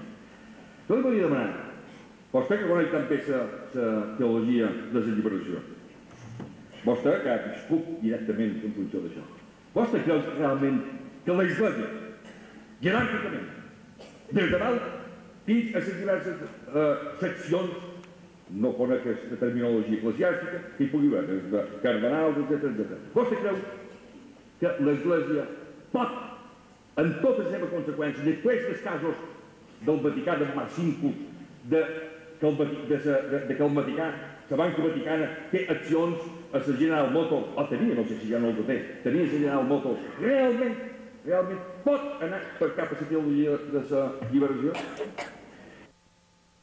Eh, lo primero que quiero decir, respecto de lo primero, señor Serra, esto de no me moverán tiene fuertes reminiscencias en la historia de España, ¿verdad? Qué bonitas. ¿eh? Pero aparte de esto. Una cosa, a mí lo único que me mueve, no lo he dicho, evidentemente, es que otra verdad, que no es mi verdad en este momento, me resulte más verdad. Si usted me hace un día una oferta de una verdad más verdad que la mía en este momento, yo le digo que sí. Esto para su tranquilidad y para la mía. Dejemos las cosas claras. La verdad es lo único que nos libera. Por lo tanto, haciendo caso a don Pablo, me refiero a don Pablo de Tarso, naturalmente, pues sigamos por esta línea. Segunda cuestión. La respuesta es muy clara.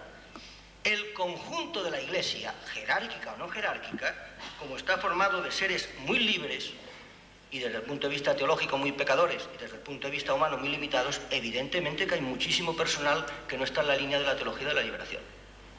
Y si aquí hubiera un montón de teólogos de determinado pensamiento, dirían que evidentemente mi, afirmación de que o donde hay donde hay liberación está Dios o al revés no se cumple, que esto es una tontería que me acabo de inventar yo. ¿Por qué? Porque es que dentro de la Iglesia, en este momento y en otros muchos momentos, ha habido más pluralismo que dentro de muchas sociedades civiles, cosa que no se ha dicho hasta ahora. Lo que pasa es que ese pluralismo, evidentemente, ha producido auténticas barbaridades. Pero cuidado, ¿eh? Aquí vamos a sacar todos los trapitos afuera. ¿Eh? Entonces, a mí en este momento me preocupa mucho, tanto más que a usted, porque soy creyente, el que toda la iglesia no entre por un camino, que creo honradamente que es el de Jesús de Nazaret, que es el de la honradez, el de la honestidad, como hombres y como creyentes. Me preocupa mucho, pero soy un pobre hombre que soy incapaz de arreglarlo. Y por lo tanto sigo diciendo aquello de que la iglesia es una casta meretriz, es una casta fulana. Y lo asumo y lo lamento muchísimo, pero no seré yo quien pueda cambiarlo. Lo que sí lucharé con todas mis fuerzas, y supongo que ustedes también desde su punto de vista, es denunciando sin temor todo lo que haya de fulaneo en la iglesia, pero también diciendo todo lo que hay de positivo en la iglesia. Y yo creo que ustedes también van, lo tendrán que decir, de la misma forma que cada vez me siento más cercano de los hombres no creyentes que son honestos, son veraces y son auténticos. Por lo tanto, mi respuesta, sin ningún temor, evidentemente que no toda la iglesia está en la línea de la teología. Muy sencillas. De y séptimo es el llamado sermón de la montaña, eso es el reino de Dios. Donde hay eso, hay reino de Dios. Y donde no hay eso, no hay reino de Dios. Esto sí que va misa. Mi querido delantero. Moltes gràcies, senyor Alcover. Muchas gracias, señor. Silencio, por favor. Silencio, por favor.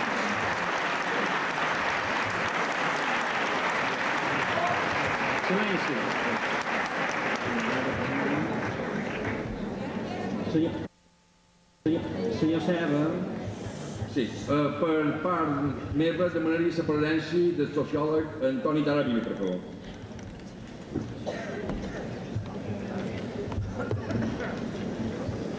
Deixa vull dir, i li manifesto la meva preocupació profunda, i admet en Antoni que envia sorda precisament per una paraula que en Albert ha dit, que és la manera que s'ha dit, que és fa. Senyors, el reina de Déu no se pot posar a votació.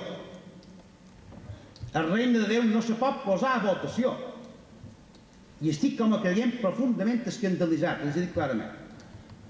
M'apareix molt bé que tinguem un debat i m'apareix realment molt interessant damunt el reina de Déu.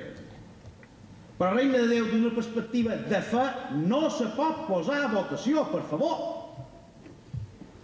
La fe és altra cosa que no se pot demostrar. És que la tenim, la tenim perquè és una gràcia. No la podem posar a votació. Per favor, què estan fent aquí? Per tant, a mi el que m'escandalitza és aquest títol de Guiral. M'apareix interessantíssim. Realment, m'apareix realment molt valuós que estiguem aquí debatint com avui se veu el reina de Déu. Però, per favor, no posem a votació això. És com si un senyor digués, farem a votació si el sol és o no és. El sol és o no és, però no hi serà més o menys perquè democràticament ho diguem, per favor. M'apareix realment sèria. I aquesta percussió que tenia fa un parell de dies, avui de matí, exactament a les 10 i mitja, m'he de prendre un cafè. I he trobat un capellà, amic meu i amic seu, que no està aquí, que és professor de, teologia, a, vo- amb vostès, i m'ha dit exactament el mateix. Dic, bueno, no va tan despistat. M'ha dit exactament el mateix. Què estan fent? Posar a votació?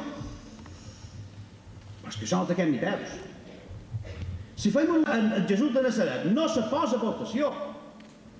I els cristians aportant, creiem, qualque cosa més de contingut en aquest mensatge purament immanent, descompromís en la realitat. Per favor, jo els demanaria, per favor, que pensem bé el que estan fent. I si qualcú vol xiular, és el seu problema. Uh?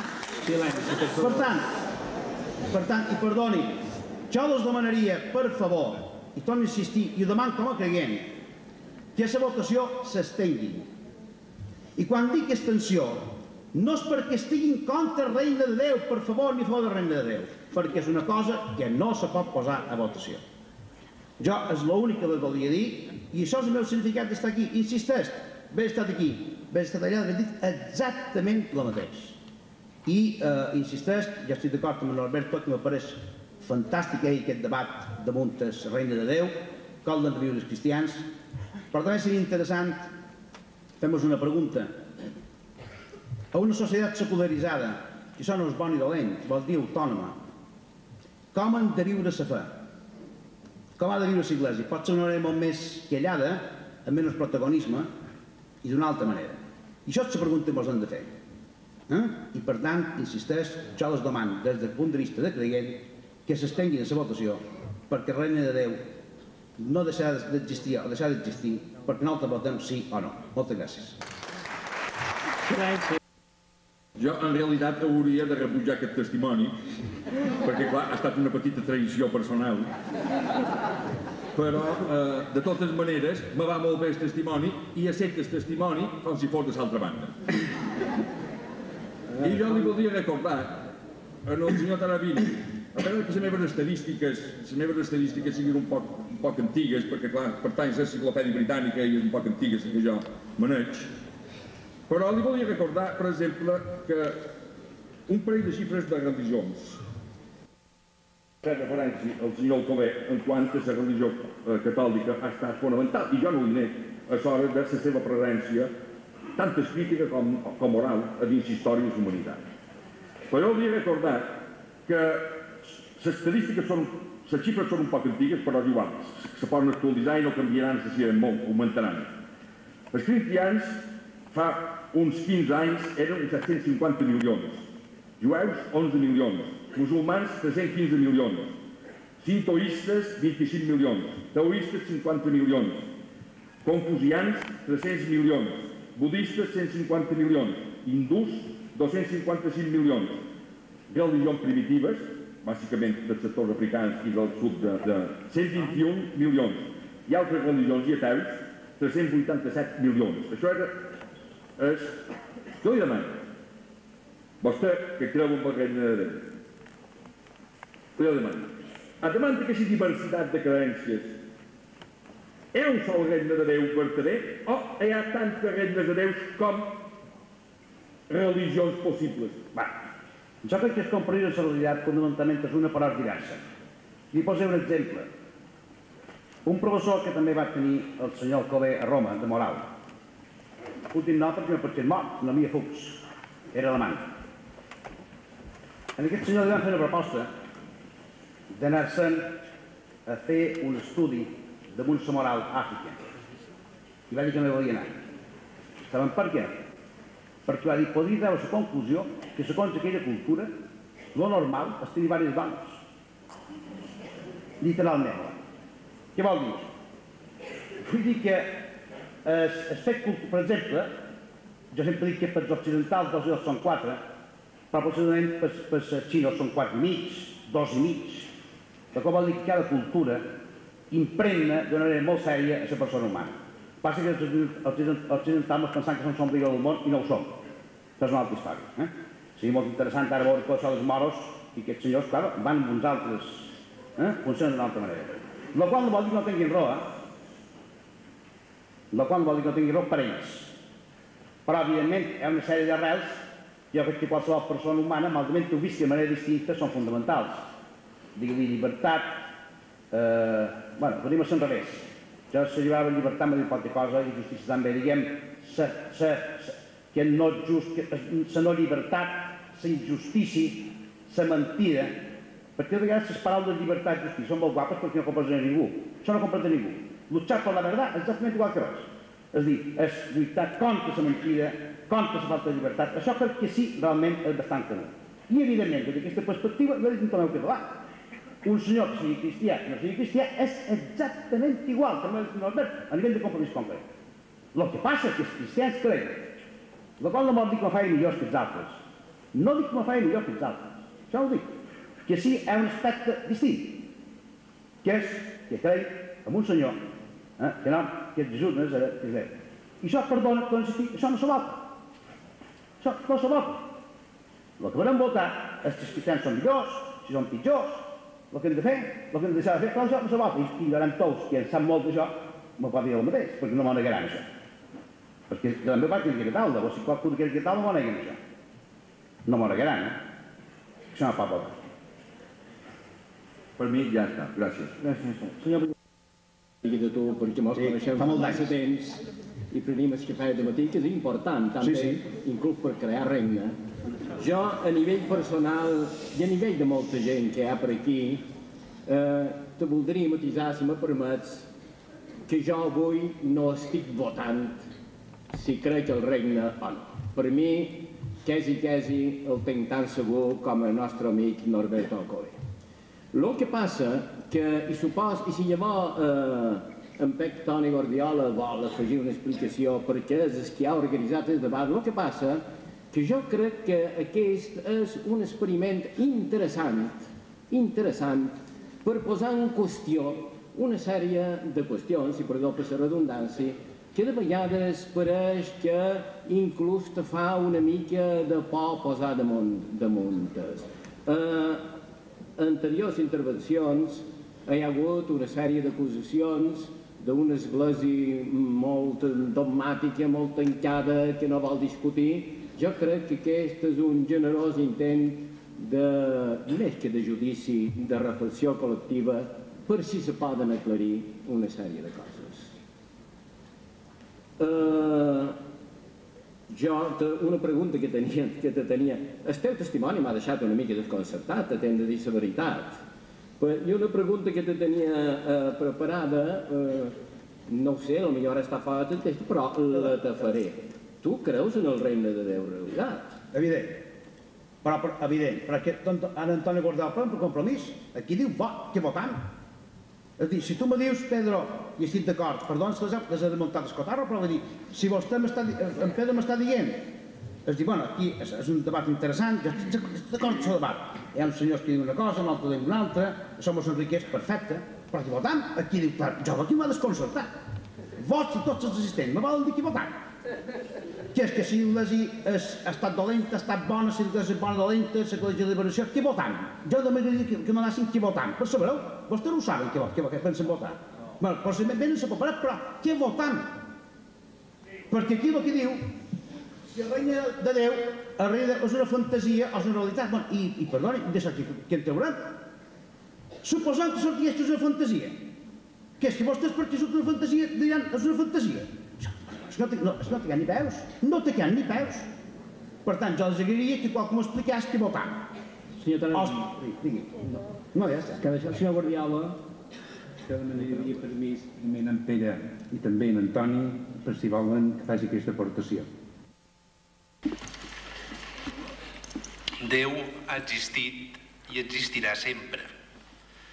En canvi, el seu reina, el seu projecte, per confiança d'ell en nosaltres, per aquest amor sense límits, perquè mos ha fet lliures, el seu reina també depèn de nosaltres, de la nostra resposta. No és que deixi d'existir, però sí que li podem ajudar a durar endavant. La fe no és abstracta. La fe se transparenta dins un estil de vida concret. No és bé que la fe sigui individual. La fe és personal, s'ha de viure dins la comunitat i s'ha de seguir en els germans cap endavant. Que el regne de Déu sigui una fantasia o realitat, des d'aquesta perspectiva que depèn de nosaltres, és això que vull votar. A un tros de l'Evangeli hi ha una estrangera que li demana a Jesús que curi la seva filla. I Jesús, a un primer moment, li diu que no. Després Jesús comprèn que li ha d'ajudar i la cura. Jesús se deixa interpel·lar per la realitat. Això és el que és aquest secretariat i l'Església de Mallorca el que ha intentat fer. No partir de dogmes, sinó de mirar, veure la realitat i des de Jesús intentar saber si el construïm o si som vagos asseguts que no feim ni brot. Gràcies.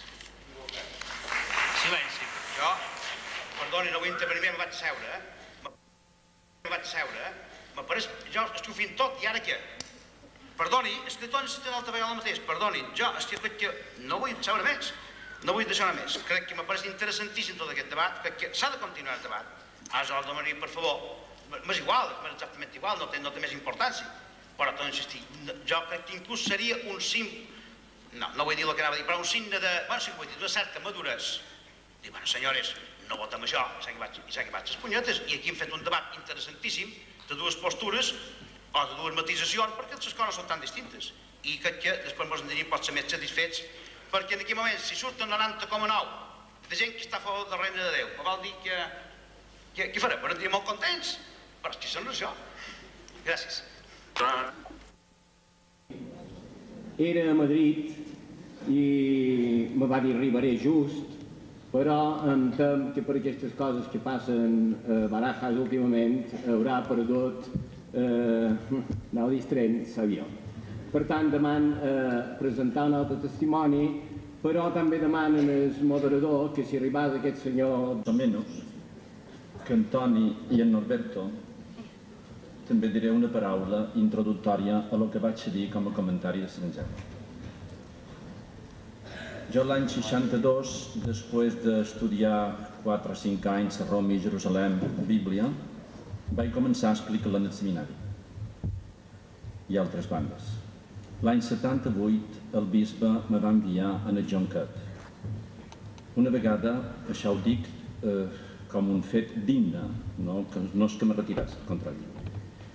Ell me va presentar una vegada en el bisbe González Moralejo de Huelva i me va presentar com a capellà d'un barri el bisbe Teodor va dir és més pobre de Mallorca. Són paraules de vostè. Després, l'any 80, vaig descobrir la presó per un fet que es va produir dins el meu barri. Des de l'any 80 vaig per la presó. I quan vaig comentar en el pare Juan Mateos, que va ser el director de l'Institut Bíblic Oriental a Roma, un gran traductor i un gran comentarista en concret de l'Evangeli de Sant Joan, un dia que li vaig comentar aquest fet, me va dir allí entenderàs l'Evangelio, per la mà de la presó. Per tant, el que jo diré sobre l'Evangeli parteix dels meus estudis i parteix de la meva experiència, perquè entenc que no existeix una teoria abstracta, sinó que la teoria sempre la filtram a través de la realitat que vivim. Des d'aquí, la visió del reina de Déu que hi ha en el Nou Testament és que Jesús el presenta des del principi que Déu és pare. I és pare de tots. Però precisament perquè ho és de tots, estima preferentment els més pobres. En aquells els estima més. I els estima no perquè tornin bons o perquè siguin bons, sinó perquè són pobres perquè Déu és Pare. Jesús se sent com a testimoni i enviat de Déu per donar testimoni d'aquesta reina i se posa en el costat d'aquests pobres amb una presència que ell vol que sigui profètica, una paraula oficial, vol que sigui alliberadora perquè surtin del seu, del seu estat de marginació i vol que sigui sacramental dins el nostre llenguatge, o sigui que produeix i significa l'amistat en Déu. Això ho fa Jesús per justícia, no per llàstima ni per estricta misericòrdia, sinó per justícia, perquè Déu no seria just si davant les desigualtats i marginacions en què se troben aquella gent, Déu les estimàs igual i no començàs per ell. Però, per tant, aquest amor, que és essència del regne de Déu, tal com s'ha dit aquí repetides vegades, aquest amor se concreta fent justícia, i afegeix no només aquesta justícia, sinó la misericòrdia entranyable, tal com passa una família, on tots els fills, distints, fins i tot qualcun que queda un poc a baix, són acceptats per lo que són com a germans, per lo que valen com a persones. Per tant, segons Jesús, dins el Nou Testament, el regne de Déu vol dir deixar els ídols, començant pels dobbers, vol dir creure, no creure amb el poder ni l'orgull que trepitja, oprimeix, margina, i aposta Jesús exigeix pobresa per entrar en el regne de Déu. Aposta per seguir Jesús, li exigeixen a aquell jove que vengui tots els seus béns i que els donin als pobres. Jesús proclama el regne de Déu per motius religiosos, certament, perquè Déu així ho vol. Però el contingut del regne de Déu que Jesús anuncia no és un sentit, eh, és un sentit polític, o sigui, té un sentit històric i social, no és una realitat de la transcendència o des més allà, o intimista o individualista. I Jesús se presenta com el mediador per fer possible aquest regne. O sigui, que per Jesús podem arribar a tenir una tal experiència de Déu que ens ordeni des del Pare tota la nostra escala de valors. I qui per Jesús experimenta aquest amor de Déu lluitarà per estendre-lo i fer-lo arribar a els altres. I qui coneix l'amor de Déu quan el transmet estimant també en els pobres, no fa paternalismes humillants, sinó que els dignifica per lo que són. Això seria un resum de, del tema, tal com jo el veig globalment dins el Nou Testament. De totes maneres, eh, jo voldria dir una paraula que en el començament de la presentació de, del senyor Serra ha sortit sobre el concepte de fantasia. No sé si l'he entès bé, però m'ha prescut que volia dir que la realitat és fantasia. Si això fos vera, si hagués volgut dir això, a mi me dona un punt de partida perquè jo, com Antoni Tarabini, eh, quan vaig veure aquesta moguda, vaig pensar que era un tema que no se podia posar així en el públic per les bones, exposat a creents i no creents, a cristians i no cristians. El veia molt clar dins l'interior nostre del cristianisme, per afinar punteria, estil, objectius i modos actuals del regne de Déu. Qui sí? Però un debat així jo tampoc no el veig, i ho vaig dir, i aquí hi ha gent que ho pot demostrar, no? Ara sí, i, i estic en contra de la votació. Uh, ara sí que una cosa per aventura podríem salvar el tema, el manco repte de títol, no? El reina de Déu, precisament perquè és una realitat, però és una realitat tan profunda que ens ve de Déu per Jesús i ens transforma per transformar el món, és un fet simbòlic. O sigui, és un fet tan profund que solament se pot expressar amb obres i en poesia.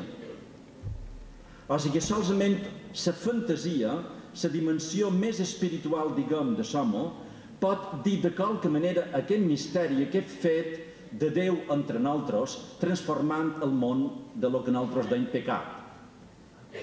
Això volia afegir. Gràcies per la teva intervenció, me pareix que ho has dit tot i jo no faré més preguntes. Senyor Serra, Molt bé. paraula. Senyor Cols, molt agraït per les seves paraules. Jo el recordo unes xerrades que fa la vostra per la Ràdio Mallorca, encara que no mos coneguéssim com a record d'aquella xerrada. I voldria dir, i li demano humilment perdons per dir-li, li voldria dir que jo tinc impressió, després d'haver-lo sentit a vostè i després d'haver sentit altres testimonis, que estan fent una cosa molt curiosa en aquest debat. Estan fent filosofia amb vestipallades de teologia sobre el regne de Déu. La meva funció no és fer filosofia, perquè és filosofia, sinó és fer ciències de les coses. Anar cap a la ciència històrica i la ciència se segueix fonamentant en història. Història, ciència, és una cosa real. Vostè mateix diu, pel cas dels evangelis, però vostè coincidirà, coincidirà amb jo, que a dins dels evangelis tampoc ben definit no existeix el de Déu d'una manera científicament definida, no existeix. Ni existeix tampoc abans dins la Bíblia. Si teníem el post, post apostòlic, per exemple, apuntant especulacions cosmològiques per descriure el cel, vostè ho saben això. Sense arribar, però, al destec dels agnòstics. Els nostres van a intentar una descripció més aproximada del cel per dubtar d'aquesta possibilitat del cel, més que els sectors cristians. Vostè sap també, per exemple, que eh, Sant Agustí, Sant Agustí de que hi haurà pau, amb una aproximació de definició de, de Regne de Déu. Hi haurà pau. Perfecta pau hi haurà allà. On vulguis estar, hi estaràs. Però no t'allunyaràs de Déu. Estaràs on vulguis, però on vulgui que vagis tindràs el teu Déu. Sempre estaràs amb ell, del qual ets benaudat. Això és un intent d'aproximació de definició de Sant Agustí. Vostè reconeixerà vull dir, que aquesta definició també és estrictament filosòfica amb, amb vestipallades cap a la teologia. Vull dir, no podem entrar en aquestes matèries a discutir-les d'una manera en profunditat. Perquè hi ha l'aspecte fonamental amb el qual, i que perdoni que me tiri tot el puc en contra, però a mi m'agrada ser, i perdoni que ho digui, a mi m'agrada ser com en Gary Cooper, tot sol davant del perill, perquè fins ara les grans masses m'han demostrat coses bastant horripilants. I l'Iglésia, entre elles, entre les grans masses de m'han mostrat coses. Vostè reconeixerà que aquesta manca de descripció d'un regne de Déu, en canvi venia a fonamentar, bàsicament dins la història de l'Iglésia, volia treure-lo aquí tota una història dels papes que són superdivertidíssimes, fetes, i perdoni, no és que siguin unes històries, fins i tot duen, duen eh, un, una, una advertència d'un prevere, Ramon Baldú, aquí on i està feta per un senyor francès que va ser, que va ser um, ambaixador en el Vaticà, que és, eh, va ser ambaixador del Vaticà, que és Narto de, de Montor, que va fer una història dels papes divertida. I vostè veurà que després, quantes papes, que són la màxima jerarquia de l'Església, si no vaig equivocat, màxima de l'Església, quantes papes després han de posar en pràctica, d'una manera quotidiana, sistemàtica, cada dia, en l'economia, en la sociologia, en la ciència, etc etc.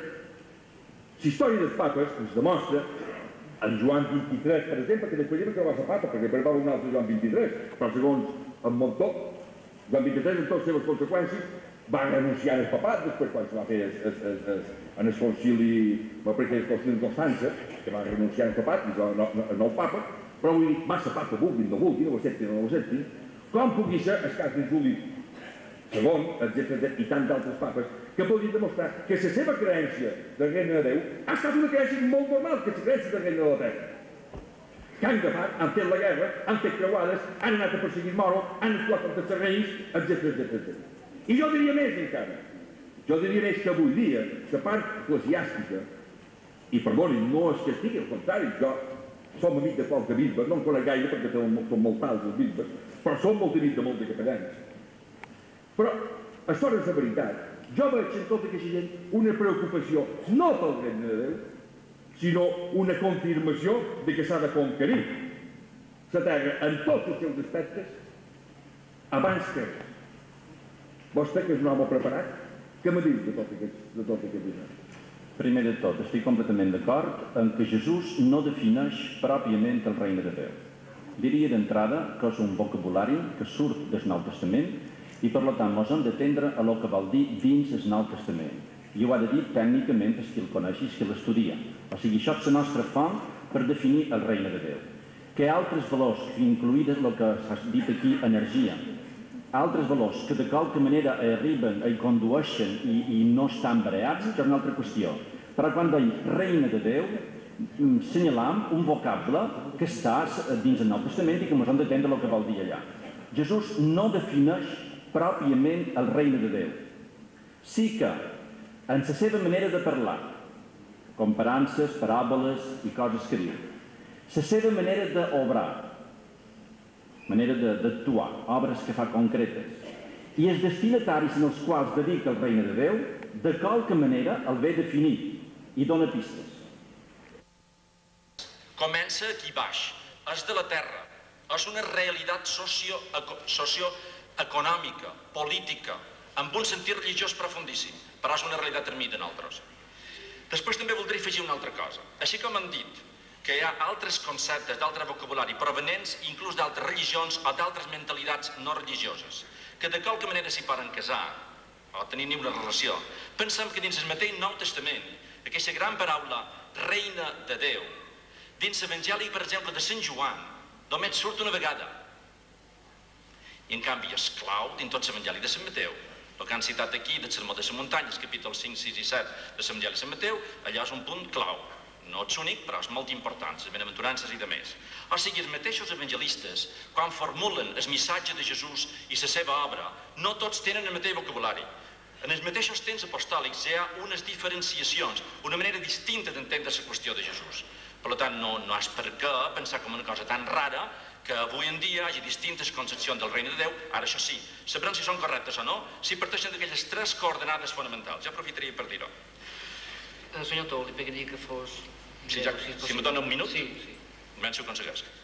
Uh, té tres punts fonamentals el, el regne de Déu en les seves obres de Jesús. Dona vida, allibera i integra tot lo marginat. Després va destinat en els més pobres, Avui en dia, traduir això en el llenguatge d'avui, avui en dia, i, entre altres, s'haurien de cercar aquells col·lectius que producte de la pobresa estructural del nostre món i universal són col·lectius d'una marginació extrema. I en aquell punt s'hi hauria d'incidir amb un estil de donar vida, provocar llibertat i integrar amb igualtat tots aquells que estan més en fora. Senyor Seguí, vostè per la seva professió bàsicament de periodisme, que ha fet diverses seccions, com succeïts, etc etc, entrevistes, i ha conegut una diversitat de persones, creients i no creients, eclesiàstiques i no eclesiàstiques, jo li volia demanar, aquí hem tingut una sèrie d'exposicions, com vostè mateix, sens dubte, ha sentit, que pertanyen a un tipus d'església, en certa mesura, diguem-ne, progressista. Progressista. Vostè creu que aquest concepte que hagin pogut donar a aquesta església progressista que m'haurà parlat aquí coincideix amb una altra església que curiosament no l'he vista representada i que vostè sí té relacions a dues bandes, des d'una església molt conservadora a una església més progressista. Com és l'església marginal, com poden ser sectors com el del Jaume Sant Andreu, etc etc. O pot ser un altre sector molt més de dretes com perquè l'església mentre no se mostra el contrari hi ha senyors d'esquerra i senyors de dretes. I això, esperar que tots estiguem en el regne de Déu hi ha dretes i esquerra a veure com, per exemple, el capellà de Vinyali, que va estar per, per, que vostè va publicar una entrevista i que va dir que millor era regne de l'espasa, una cosa semblant en aquesta, vostè creu que aquest representa totalment l'església que ha vist aquí representada? d'avui és una, una nova imatge de màrqueting de l'Iglésia, el que em sembla bé, perquè clar, poc, és a dir, eh, nosaltres ara posem en qüestió el que som o el que volem ser en l'excusa del reina del cel. Jo crec que, que no, no hi ha ningú en realitat que se cregui això del reina del cel tal com ho han plantejat o com ho volen plantejar determinats, determinats testimonis de la part contrària. És bo que tots diuen que la reina del cel o la reina de Déu està a la terra, però em sembla que no, que, que, que tenen com molt assumit que, que és aquí a la terra, precisament on hi ha el reina de Déu. A, vegades, no ho sé, ens don, dona un poc impressió de que no, no cal d'entendre molt bé les històries. És quan, per exemple, com el senyor Tous, que, que, que va fer molt bé, que està la, està a la presó i pot dir, un, com va dir una certa ocasió, una taula rodona, que els presos estaven contents quan ho veien. I un se planteja que està clar que estan contents quan ho veuen, perquè és que si no li fan cas, probablement li fotran hòsties. I no són les hòsties que habitualment solen donar les iglesias, les que donen les presons. Eh, I després, clar, òbviament, quan fas cas, diu, no, a lo mejor si me llevo bien con el cura, el, el tipus ese no me, no no porrea. És el primer que se plantegen. I, i és clar, fan cas en el capellà. Però en realitat un home quan entra a presó i veu que hi ha 600 persones allà dins, no pot pensar, vull dir, ha de pensar que, que, bueno, que això Déu no podria permetre si existís, dit entre cometes també, perquè un ja ho ha dubtar tot. Llavors, clar, llavors un se planteja també el projecte Homo d'Antomeu Català, que és una gran obra, perquè de fet una cosa està clara, és que els toxicòmens necessiten rehabilitar-se, i el projecte Homo dona bons resultats, o dona uns resultats, però llavors se planteja que, que, sempre li, aquí a Balears s'ha donat la circumstància de que, bueno, que la comunitat autònoma s'ha duit molt bé en l'Iglésia. I llavors, perquè ho va dir anat bé el projecte HOMO. Probablement, si la comunitat autònoma hagués hagut d'acceptar tal com és tot un projecte d'atenció als toxicòmen, hagués pensat en moviment com probablement des del professor Oliver Stein a París, que diuen que dona molt bé bons resultats, és molt més científic, no sé, i té una, i té una història de 30 o 40 anys de tractament de toxicomanies. I clar, llavors, i, realment això és iglesia progressista, però és iglesia progressista amb més oficialitat, i llavors hi ha una altra iglesia progressista que és que se planteja fer sidatoris, que se planteja fer, eh, no ho sé, altres històries que, que bueno, no estan tan ben vistes, perquè és que un sidós, la veritat és que emprenya molt. I, i bueno, i, i, i trobes que aquesta gent no, no té un ajut oficial i no tens ajuda oficial, i probablement per una cosa, i és perquè a vegades eh, l'Iglésia no admet que, que xerrin, admet que xerrin, però alerta que xerrin molt malament en contra nosaltres. I clar, hi ha una, una iglesia que, que és, per exemple, representada per aquí, capellans progressistes, per suport, perquè no n'hi no ha cap de, de, que tingui una tendència així dir-lo reaccionari, que, que, bueno, que, que, que xerra, però no, no, no, no, no, no proposa mai, o sigui, no, no s'enfronta mai eh, diguem, a l'oficialitat de, de l'Iglésia. I llavors hi ha una altra part d'Iglésia que, que sí, que troba que, que s'ha d'enfrontar. Per exemple, que no poden estar mai d'acord amb un papa polac, que, no, no per fet que sigui polac, sinó perquè el fet de ser polac representa és que se, sempre ha criticat a l'Iglésia que hi havia als països de l'est. Perdó, l'Iglésia no, els governs que hi havia als països de l'est, que realment eren criticables. Però ha que recordar que aquí en Franco durant 40 anys van dur i palio. I ningú deia res, i una cosa que més hi podien dur la custòdia en sostre de dins. I llavors duien en Franco. Llavors... I per altra banda, llavors, te trobes capellans també de, com a molt estranys, que diuen unes coses que te fan creure que el reina del cel no pot, no, no, no pot existir perquè amb subjectes d'aquesta forma no, no se pot.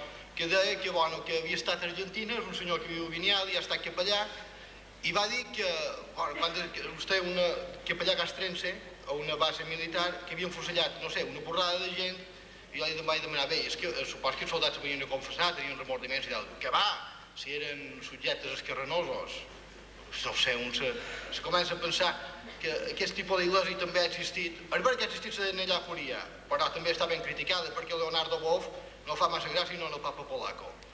Ni la de Llaforia tampoc li feia massa gràcia. Ni li feia massa gràcia tampoc eh, el jefe de Norberto Alcover i d'Antoni Tarabini un temps en, en Arropé. Això li deien el papa negro. Bé, però... Lluís, vull dir... que plantejar-se la reina dels cels en aquestes altures és com està molt a l'any només i de totes maneres després fan meves és tot. Senyor, sí. Senyor, jo he quedat admirat de veure totes les coses que s'ha carregat en un moment. Realment admirat.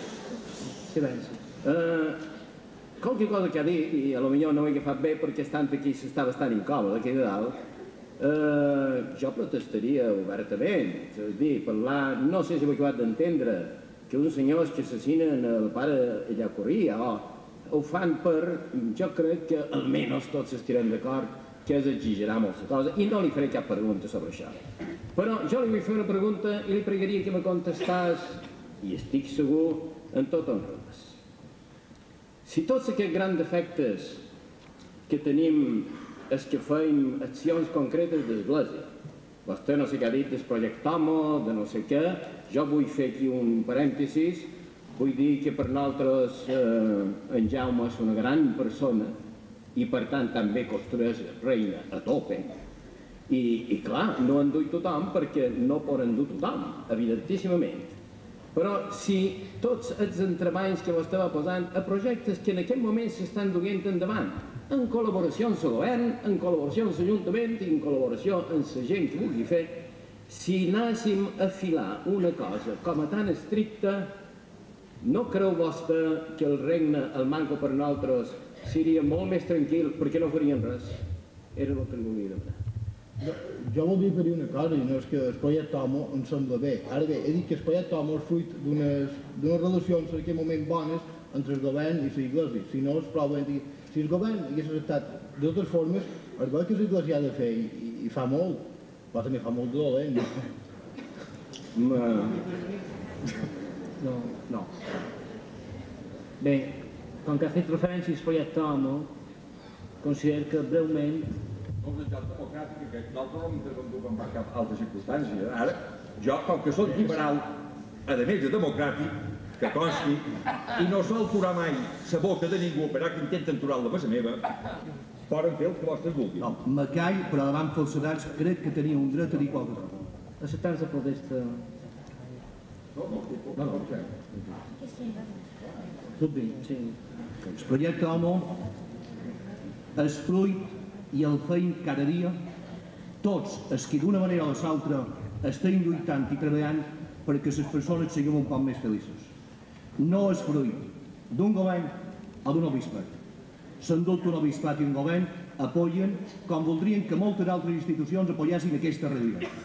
Però els que feim el projecte, i per tant el fruit del projecte és, són des de l'ot que ve el primer dia dubtant si viure o morir, però per ventura he tingut no sé què, ja dic, per ventura puc viure. Des d'aquest lot des del primer dia fins quan acaba ja graduat, visquent i caminant els seus propis peus, des de tots els voluntaris, des dels familiars i tots els que estem treballant, som nosaltres que veiem el projecte. Sí, no, jo no, no, Una intervenció, sí. Jo crec que aquí hi ha hagut, se, se senta no, hi ha hagut un error de principi, i crec que també està d'acord amb mi. de que quan s'ha parlat de... s'ha pogut entendre que el projecte Homo era una cosa d'Iglésia. Jo crec que això és una equivocació. Jo crec que el projecte Homo, i crec que qualque vegada ho hem parlat amb Tomeu, és un projecte, és a dir, per treure la gent de la elecció, que dona la casualitat, perdó, en sentit sèrio de la paraula, de que hi ha una persona que està endavant, que és un Tomeu català, i que evidentment el bisbat ha fallat. Però insisteix, crec que seria un error que aquí tinguéssim la conseqüència, també m'agradaria que molt diguessin això, per això de confusions, de que el projecte home és un projecte confusional. Que dir que això es clarificés perquè pot haver confusió amb això.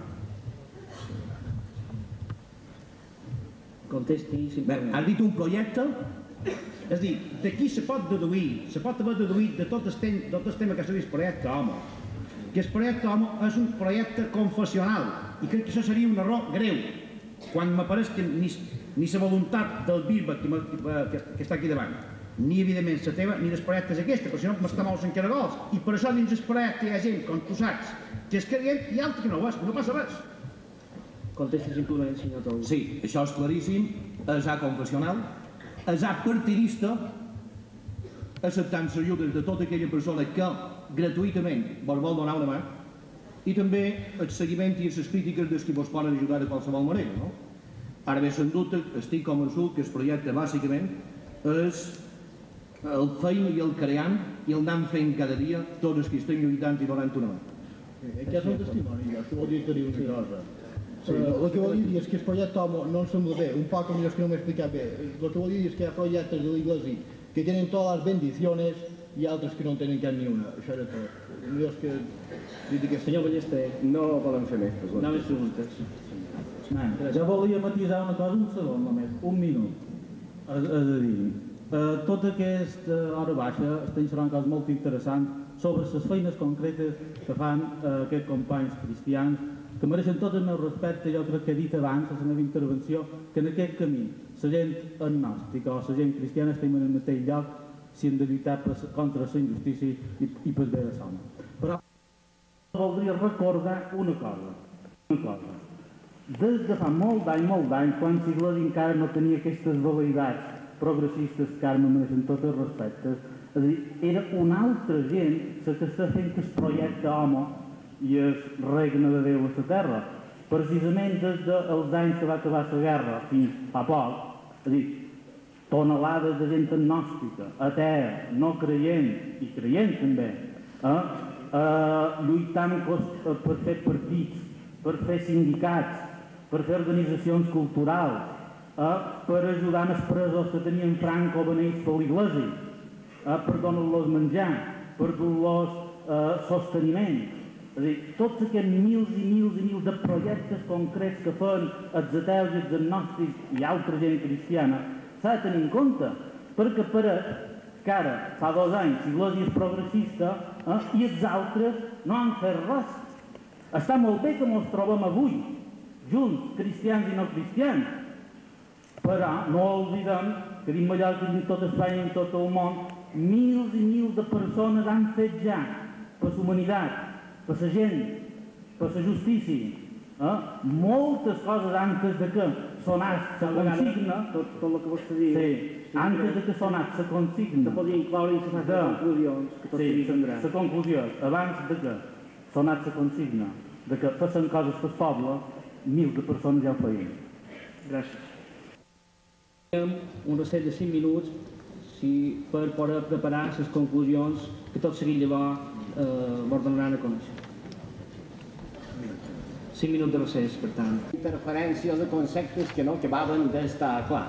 I precisament que el regne de Déu comenci aquí amb unes accions concretes d'institucions i de persones vol dir que el, regne, que el regne se va creant, que és constructiu i que serveix pels homes, que serveix pels fills de Déu que, tots, que som tots els homes. Pel regne, per la idea de regne. Llavors la votació sortirà el que ha de sortir, però l'interès de la vostra presència ja és un fet. És un tema que interessa. I els temes completament fantasiosos i no sé què normalment no interessen vitalment. A Santa Taula, evidentment, s'han dit coses que jo no repetiré perquè, perquè aquí tinc un embull de, de datos, eh, moltes actituds, sorprenentment, eren actituds de regne. I en el principi han dit que el regne era bàsicament església, l'església com a propulsora de reina, com a propulsora de la paraula de Jesús, és importantíssim, però és molt més, és molt més. És qualsevol acció de qualsevol home o de qualsevol opció que de qualque manera tingui com a base l'amor, la solidaritat, l'amor cap sant. S'ha dit per qualque part que, que hi ha dues esglésies, progressista i conservadora, a no sé què. Jo crec que hi ha una església sortosament variadíssima, sortosament variadíssima.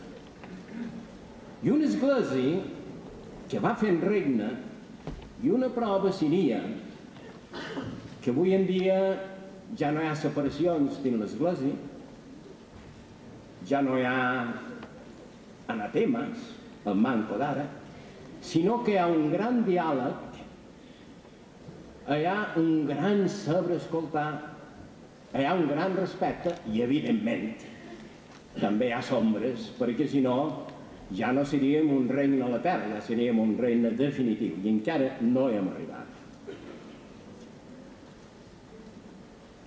Jo, insistint una mica, eh, crec que la lluita de cristians dins plataformes que s'han anomenat per aquí, jo crec que la lluita hi ha estat sempre. No és vera que ara hem descobert el progressisme. No és vera que ara diferem i que ara facem accions socials. No és vera. I aquest no és vera ho dic no és un no és ver insultant, és una manca d'informació. És que ja no són tan joves i, i, i verificant ara la història més propera en altres, sabem de tota una quantitat de lluites, sabem de quantitat d'accions, sabem de, sabem de denuncis, sabem de persones que hem estat lluitant. Quan encara per ventura, com s'ha dit, eh, no hi havia tant de progressistes, i progressistes ho pos entre totes les pometes que vulgueu perquè no m'agrada.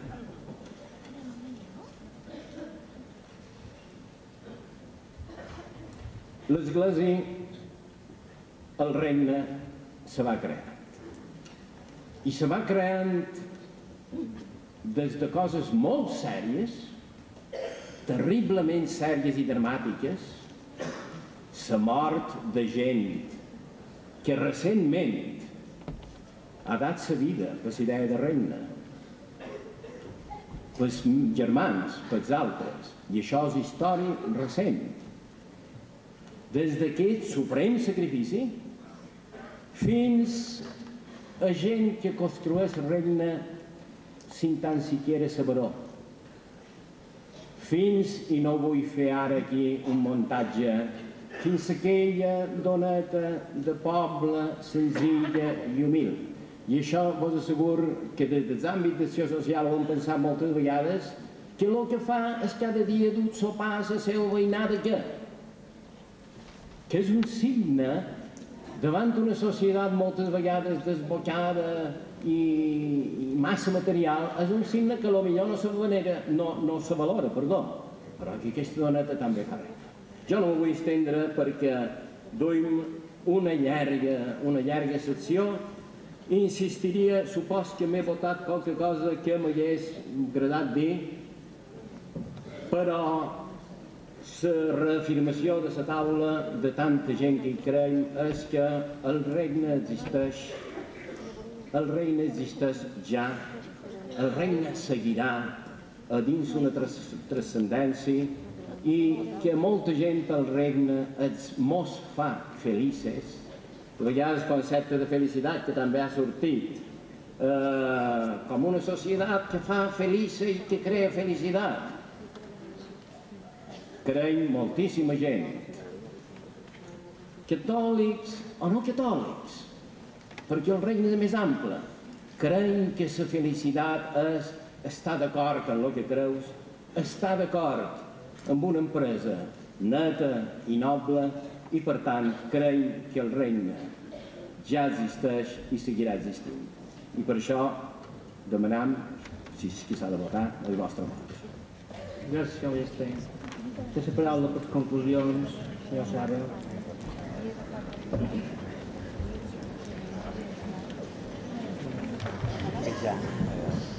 Perdoneu-me una vegada més que m'aixequi, però és que tinc el falaguer i les cadires ja realment m'és insuportable. Evidentment, com a conclusions, nosaltres en tenim dues de bàsiques i referides concretament a això. S'ha exposat ja a la taula, hem fet un conciliable de petitet, no tan gran com tot vosaltres, petitet, i hem cregut, primera, que no hi hagi votació. Això és la nostra proposta, conclusió primera, que no hi hagi votació, respectant els criteris d'aquesta taula. Segona, en el suposat, en el suposat de que hi hagi votació, demanem com a mínim una condició sine qua non perquè sigui democràtica. I és que no sigui votació sí o no, sinó també abstenció. La tercera possibilitat. O si voleu, si no està, que sigui vot en blanc com a abstenció. Ja saps quatre. Ah, ja és quatre. Ja hi són. Ah, no havíeu de dir això. Havíeu dit que no hi havia abstenció. Ah, també hi ha abstenció. En tot cas, demanaria abstenció. Val. Ara el que pròpiament l'exposició final.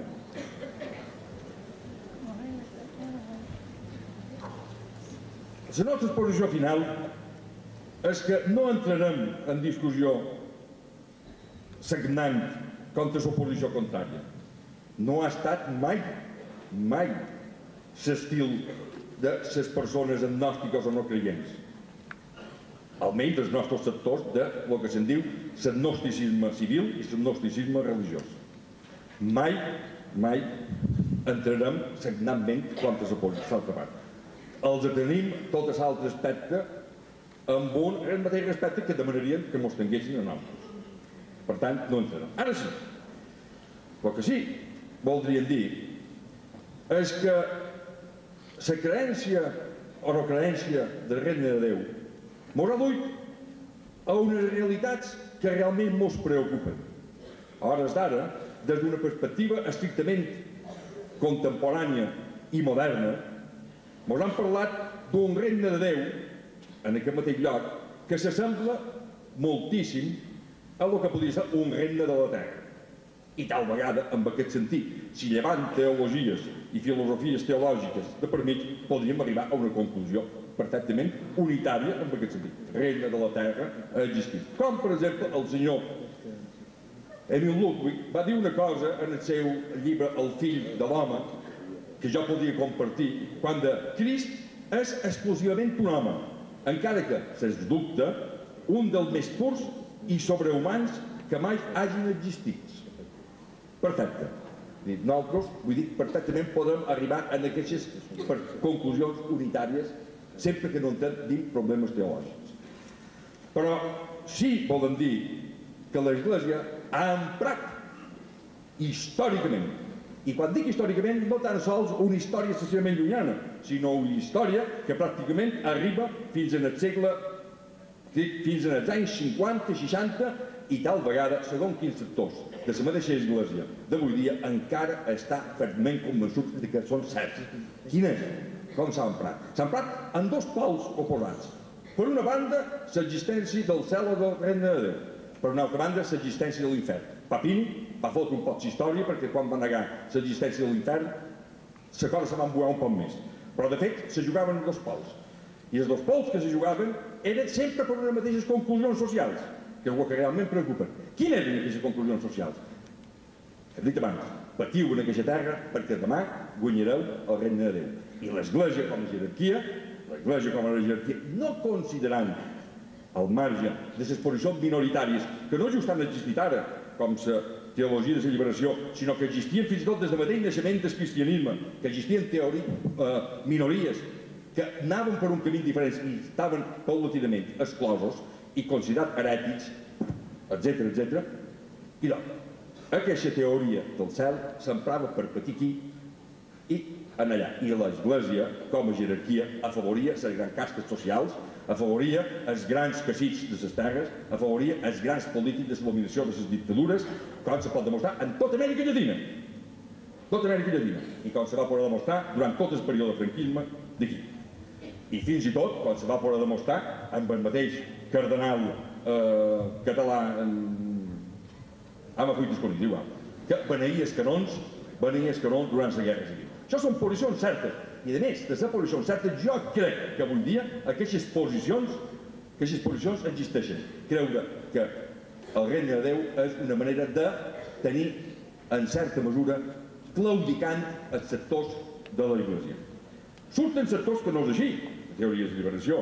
Ara mateix m'acaben de parlar i me passen un document de la Iglesia Pobra de Mallorca en què no la conec, però vull dir, me també que estan en una situació de marginació i que ell també se considera església.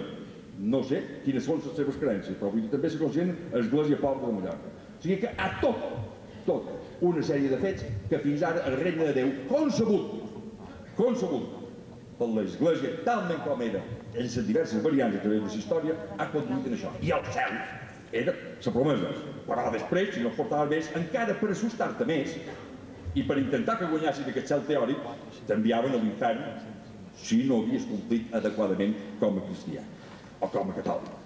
Ara bé, després existien unes gradacions, com era el llim, aquí on el llim, jo crec que anaven aquelles persones que no eren capaces de fer, aquests que no eren batiats, els negrets que no eren batiats, etc etc.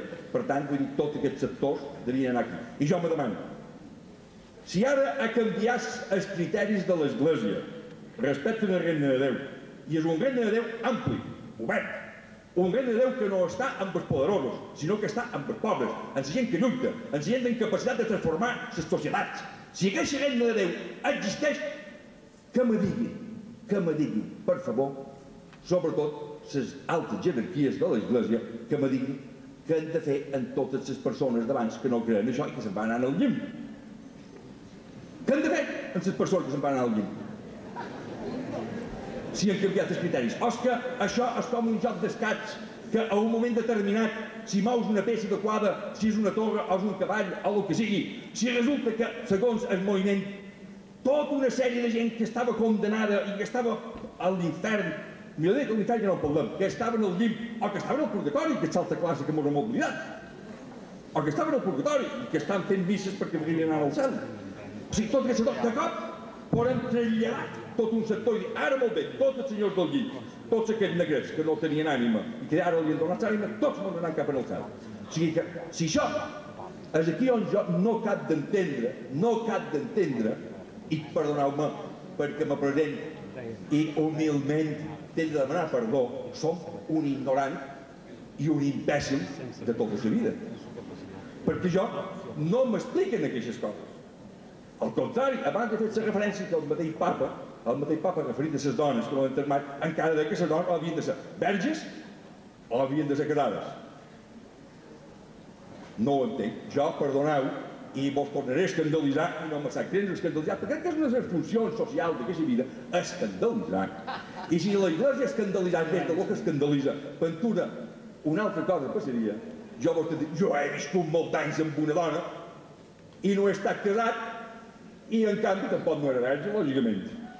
O sigui que, on l'entra, segons el senyor Papa, on entra aquests sectors de, de, de població que existeixen, que no són realitat, que no vos foteu, i a més que estan casats per, per exemple, per els civils.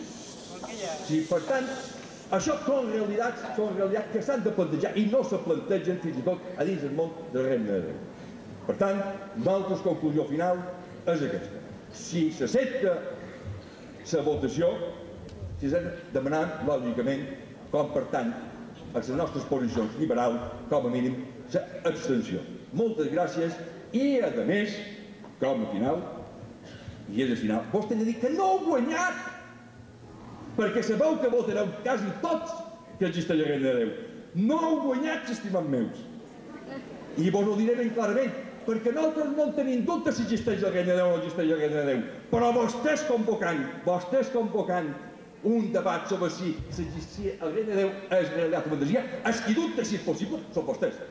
Nosaltres no tenim dubte. Per tant, moltes gràcies per vostres vots.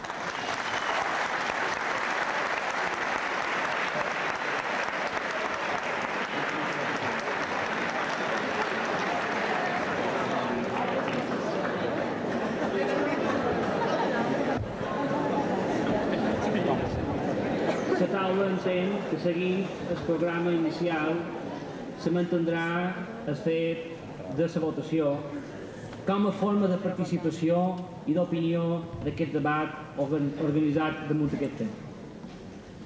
I en quant a la segona qüestió de que s'havia de reflexar a dins les papeletes i a dins els cartons que s'adjunten en cada sobre se contemplen totes les possibilitats de vots que, que hi pugui haver a una votació democràtica i lliure.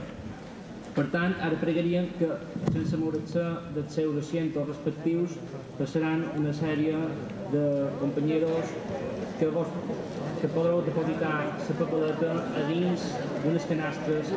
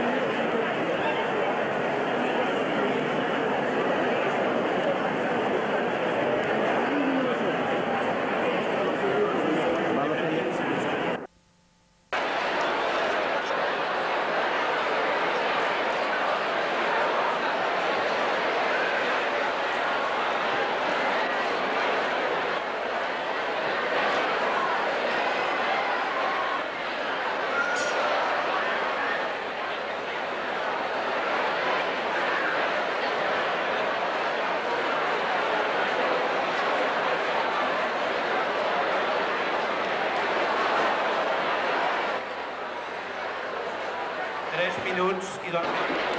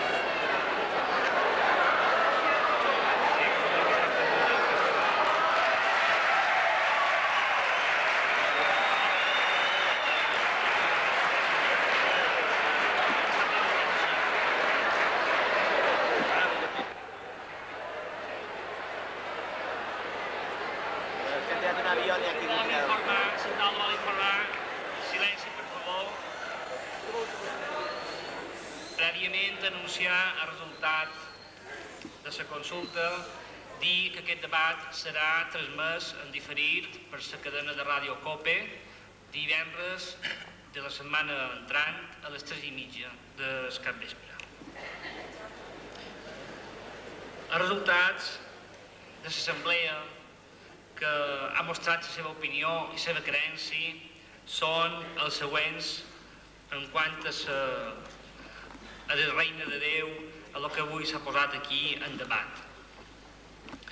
Realitat, 818 vots, fantasia, 21, en blanc, 114, nuls, 80, i amb extensió, és a dir, sobre repartits però que no s'han entregats, 299. Té la paraula el secretariat de Pastoral Juvenil, Pep Toni Guardiola, per significar el motiu d'aquest debat i el significat de la votació. Bé, el significat de la votació, torno a repetir, nosaltres no, no, no havíem pensat mai posar en dubte ni a Déu Nostre Senyor, ni tampoc eh, l'existència o no del reina, d'aquest pla que ell té damunt la humanitat, sinó senzillament intentar dialogar amb gent que no fos pròpiament d'Iglesi, fer aquest diàleg extraeclesial i, i punt. Per què aquest diàleg extraeclesial? Perquè creiem, com a secretariat de Pastoral Juvenil, que ja és ben hora, ja que els han dit que sí, i, eh, i d'altres també, que comencem a fer coses conjuntes, que no mirem les banderes. A Jesucrist una vegada n'hi va, va anar un que li deia aquest fa miracles en, en nom nostre, en nom teu. I Jesús li va dir, si allibera, deixeu tranquil, que és dels nostres. Aquest voldria ser el missatge per acabar. Si construïm un món millor, deixa'l fer. Aquest també és dels nostres.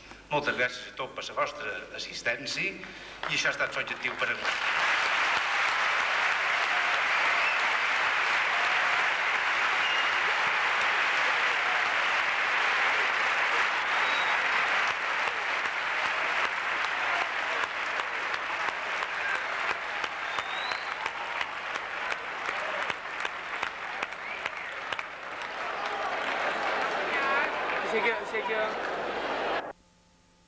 T'esperaves qualque cosa distinta del que ha passat?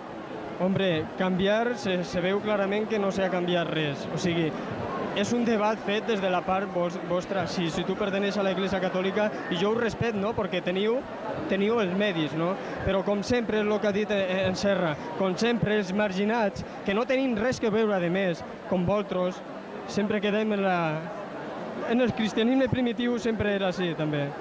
Però... La part, la part pobra que eren los, los, bé, el, el cristianisme primitiu, la part pobra, sempre era mal callada, sofrida i, a més, el que hem vist, torturada. Menys mal que ara, per almenys, ja no són torturats. Vale, moltes gràcies. Uh, nosaltres ens vam presentar com el primer grup de l'Església Pobra i vam presentar unes propostes i volien xerrar i tot això ve per compte perquè era una reunió i un debat pels joves de menys de 30 anys i aquí, si cercam la mitja aritmètica, tots tenen més de 30 anys. No ha hagut opinió dels joves. Ens han tingut discriminats aquí, tirats, sense poder dir el que pensàvem i el que sentíem. I això és una mostra més de qui maneja fils de tot aquest treje-meneje que no ens deixa xerrar lliurement. Només volia dir això, no? que la nostra veu no ha estat escoltada i ens han tingut tirats aquí, de qualsevol manera. Molt bé, molt bé. Amem, què t'ha parescut el debat i a més si t'ha canviat qualque opinió o t'ha portat qualque cosa? Oh, mira, el debat m'ha parescut molt bo i millor del que me pensava. Aquí en farem una opinió, pues, m'ha refermat en les coses que m'agraden que jo creia. Però així mateix m'he alegrat de veure que hi havia molts de punts en contacte amb molta més gent de la que lo millor me pensava. Molt bé. L'idea, aquest fa miracles en, en nom nostre, en nom teu. I Jesús li va dir, si allibera, deixeu tranquil, que és dels nostres. Aquest voldria ser el missatge per acabar. Si construïm un món millor, deixa'l fer. Aquest també és dels nostres. Moltes gràcies a tots per la vostra assistència i això ha estat l'objectiu per a mi.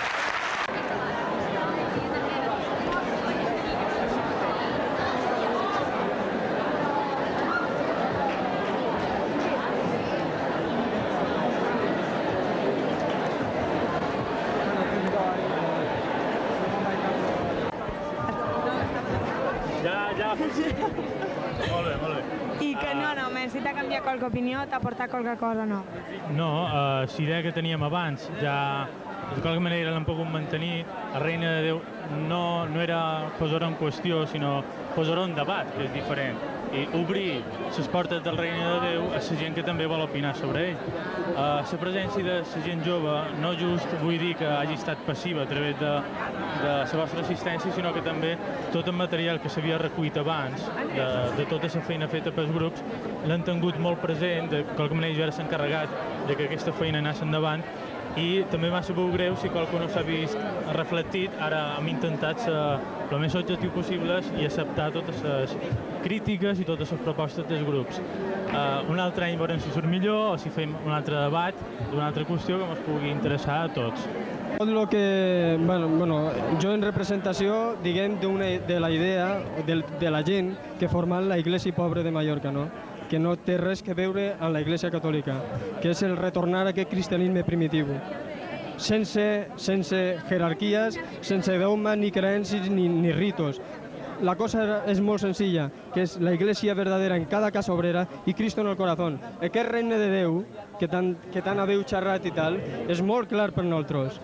Lo vivim en que nostre és retornar al cristianisme. Quan se retorni aquest cristianisme primitiu, ja no farà falta una iglesia pobra, ni tampoc una iglesia rica.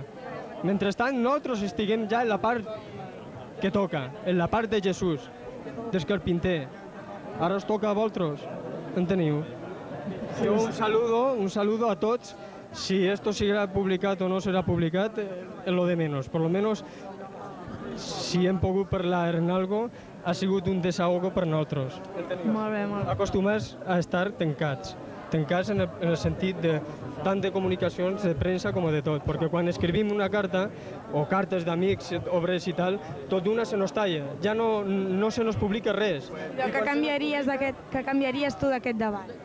Jo canviaria de que l'actitud és, és, ben, és ben clara. El papa en, en Alemanya fa un parell d'anys va dir una cosa que era algo rotund, dins de lo que és una idea, que era la Iglesia volverà a la pobresa, serà pobra.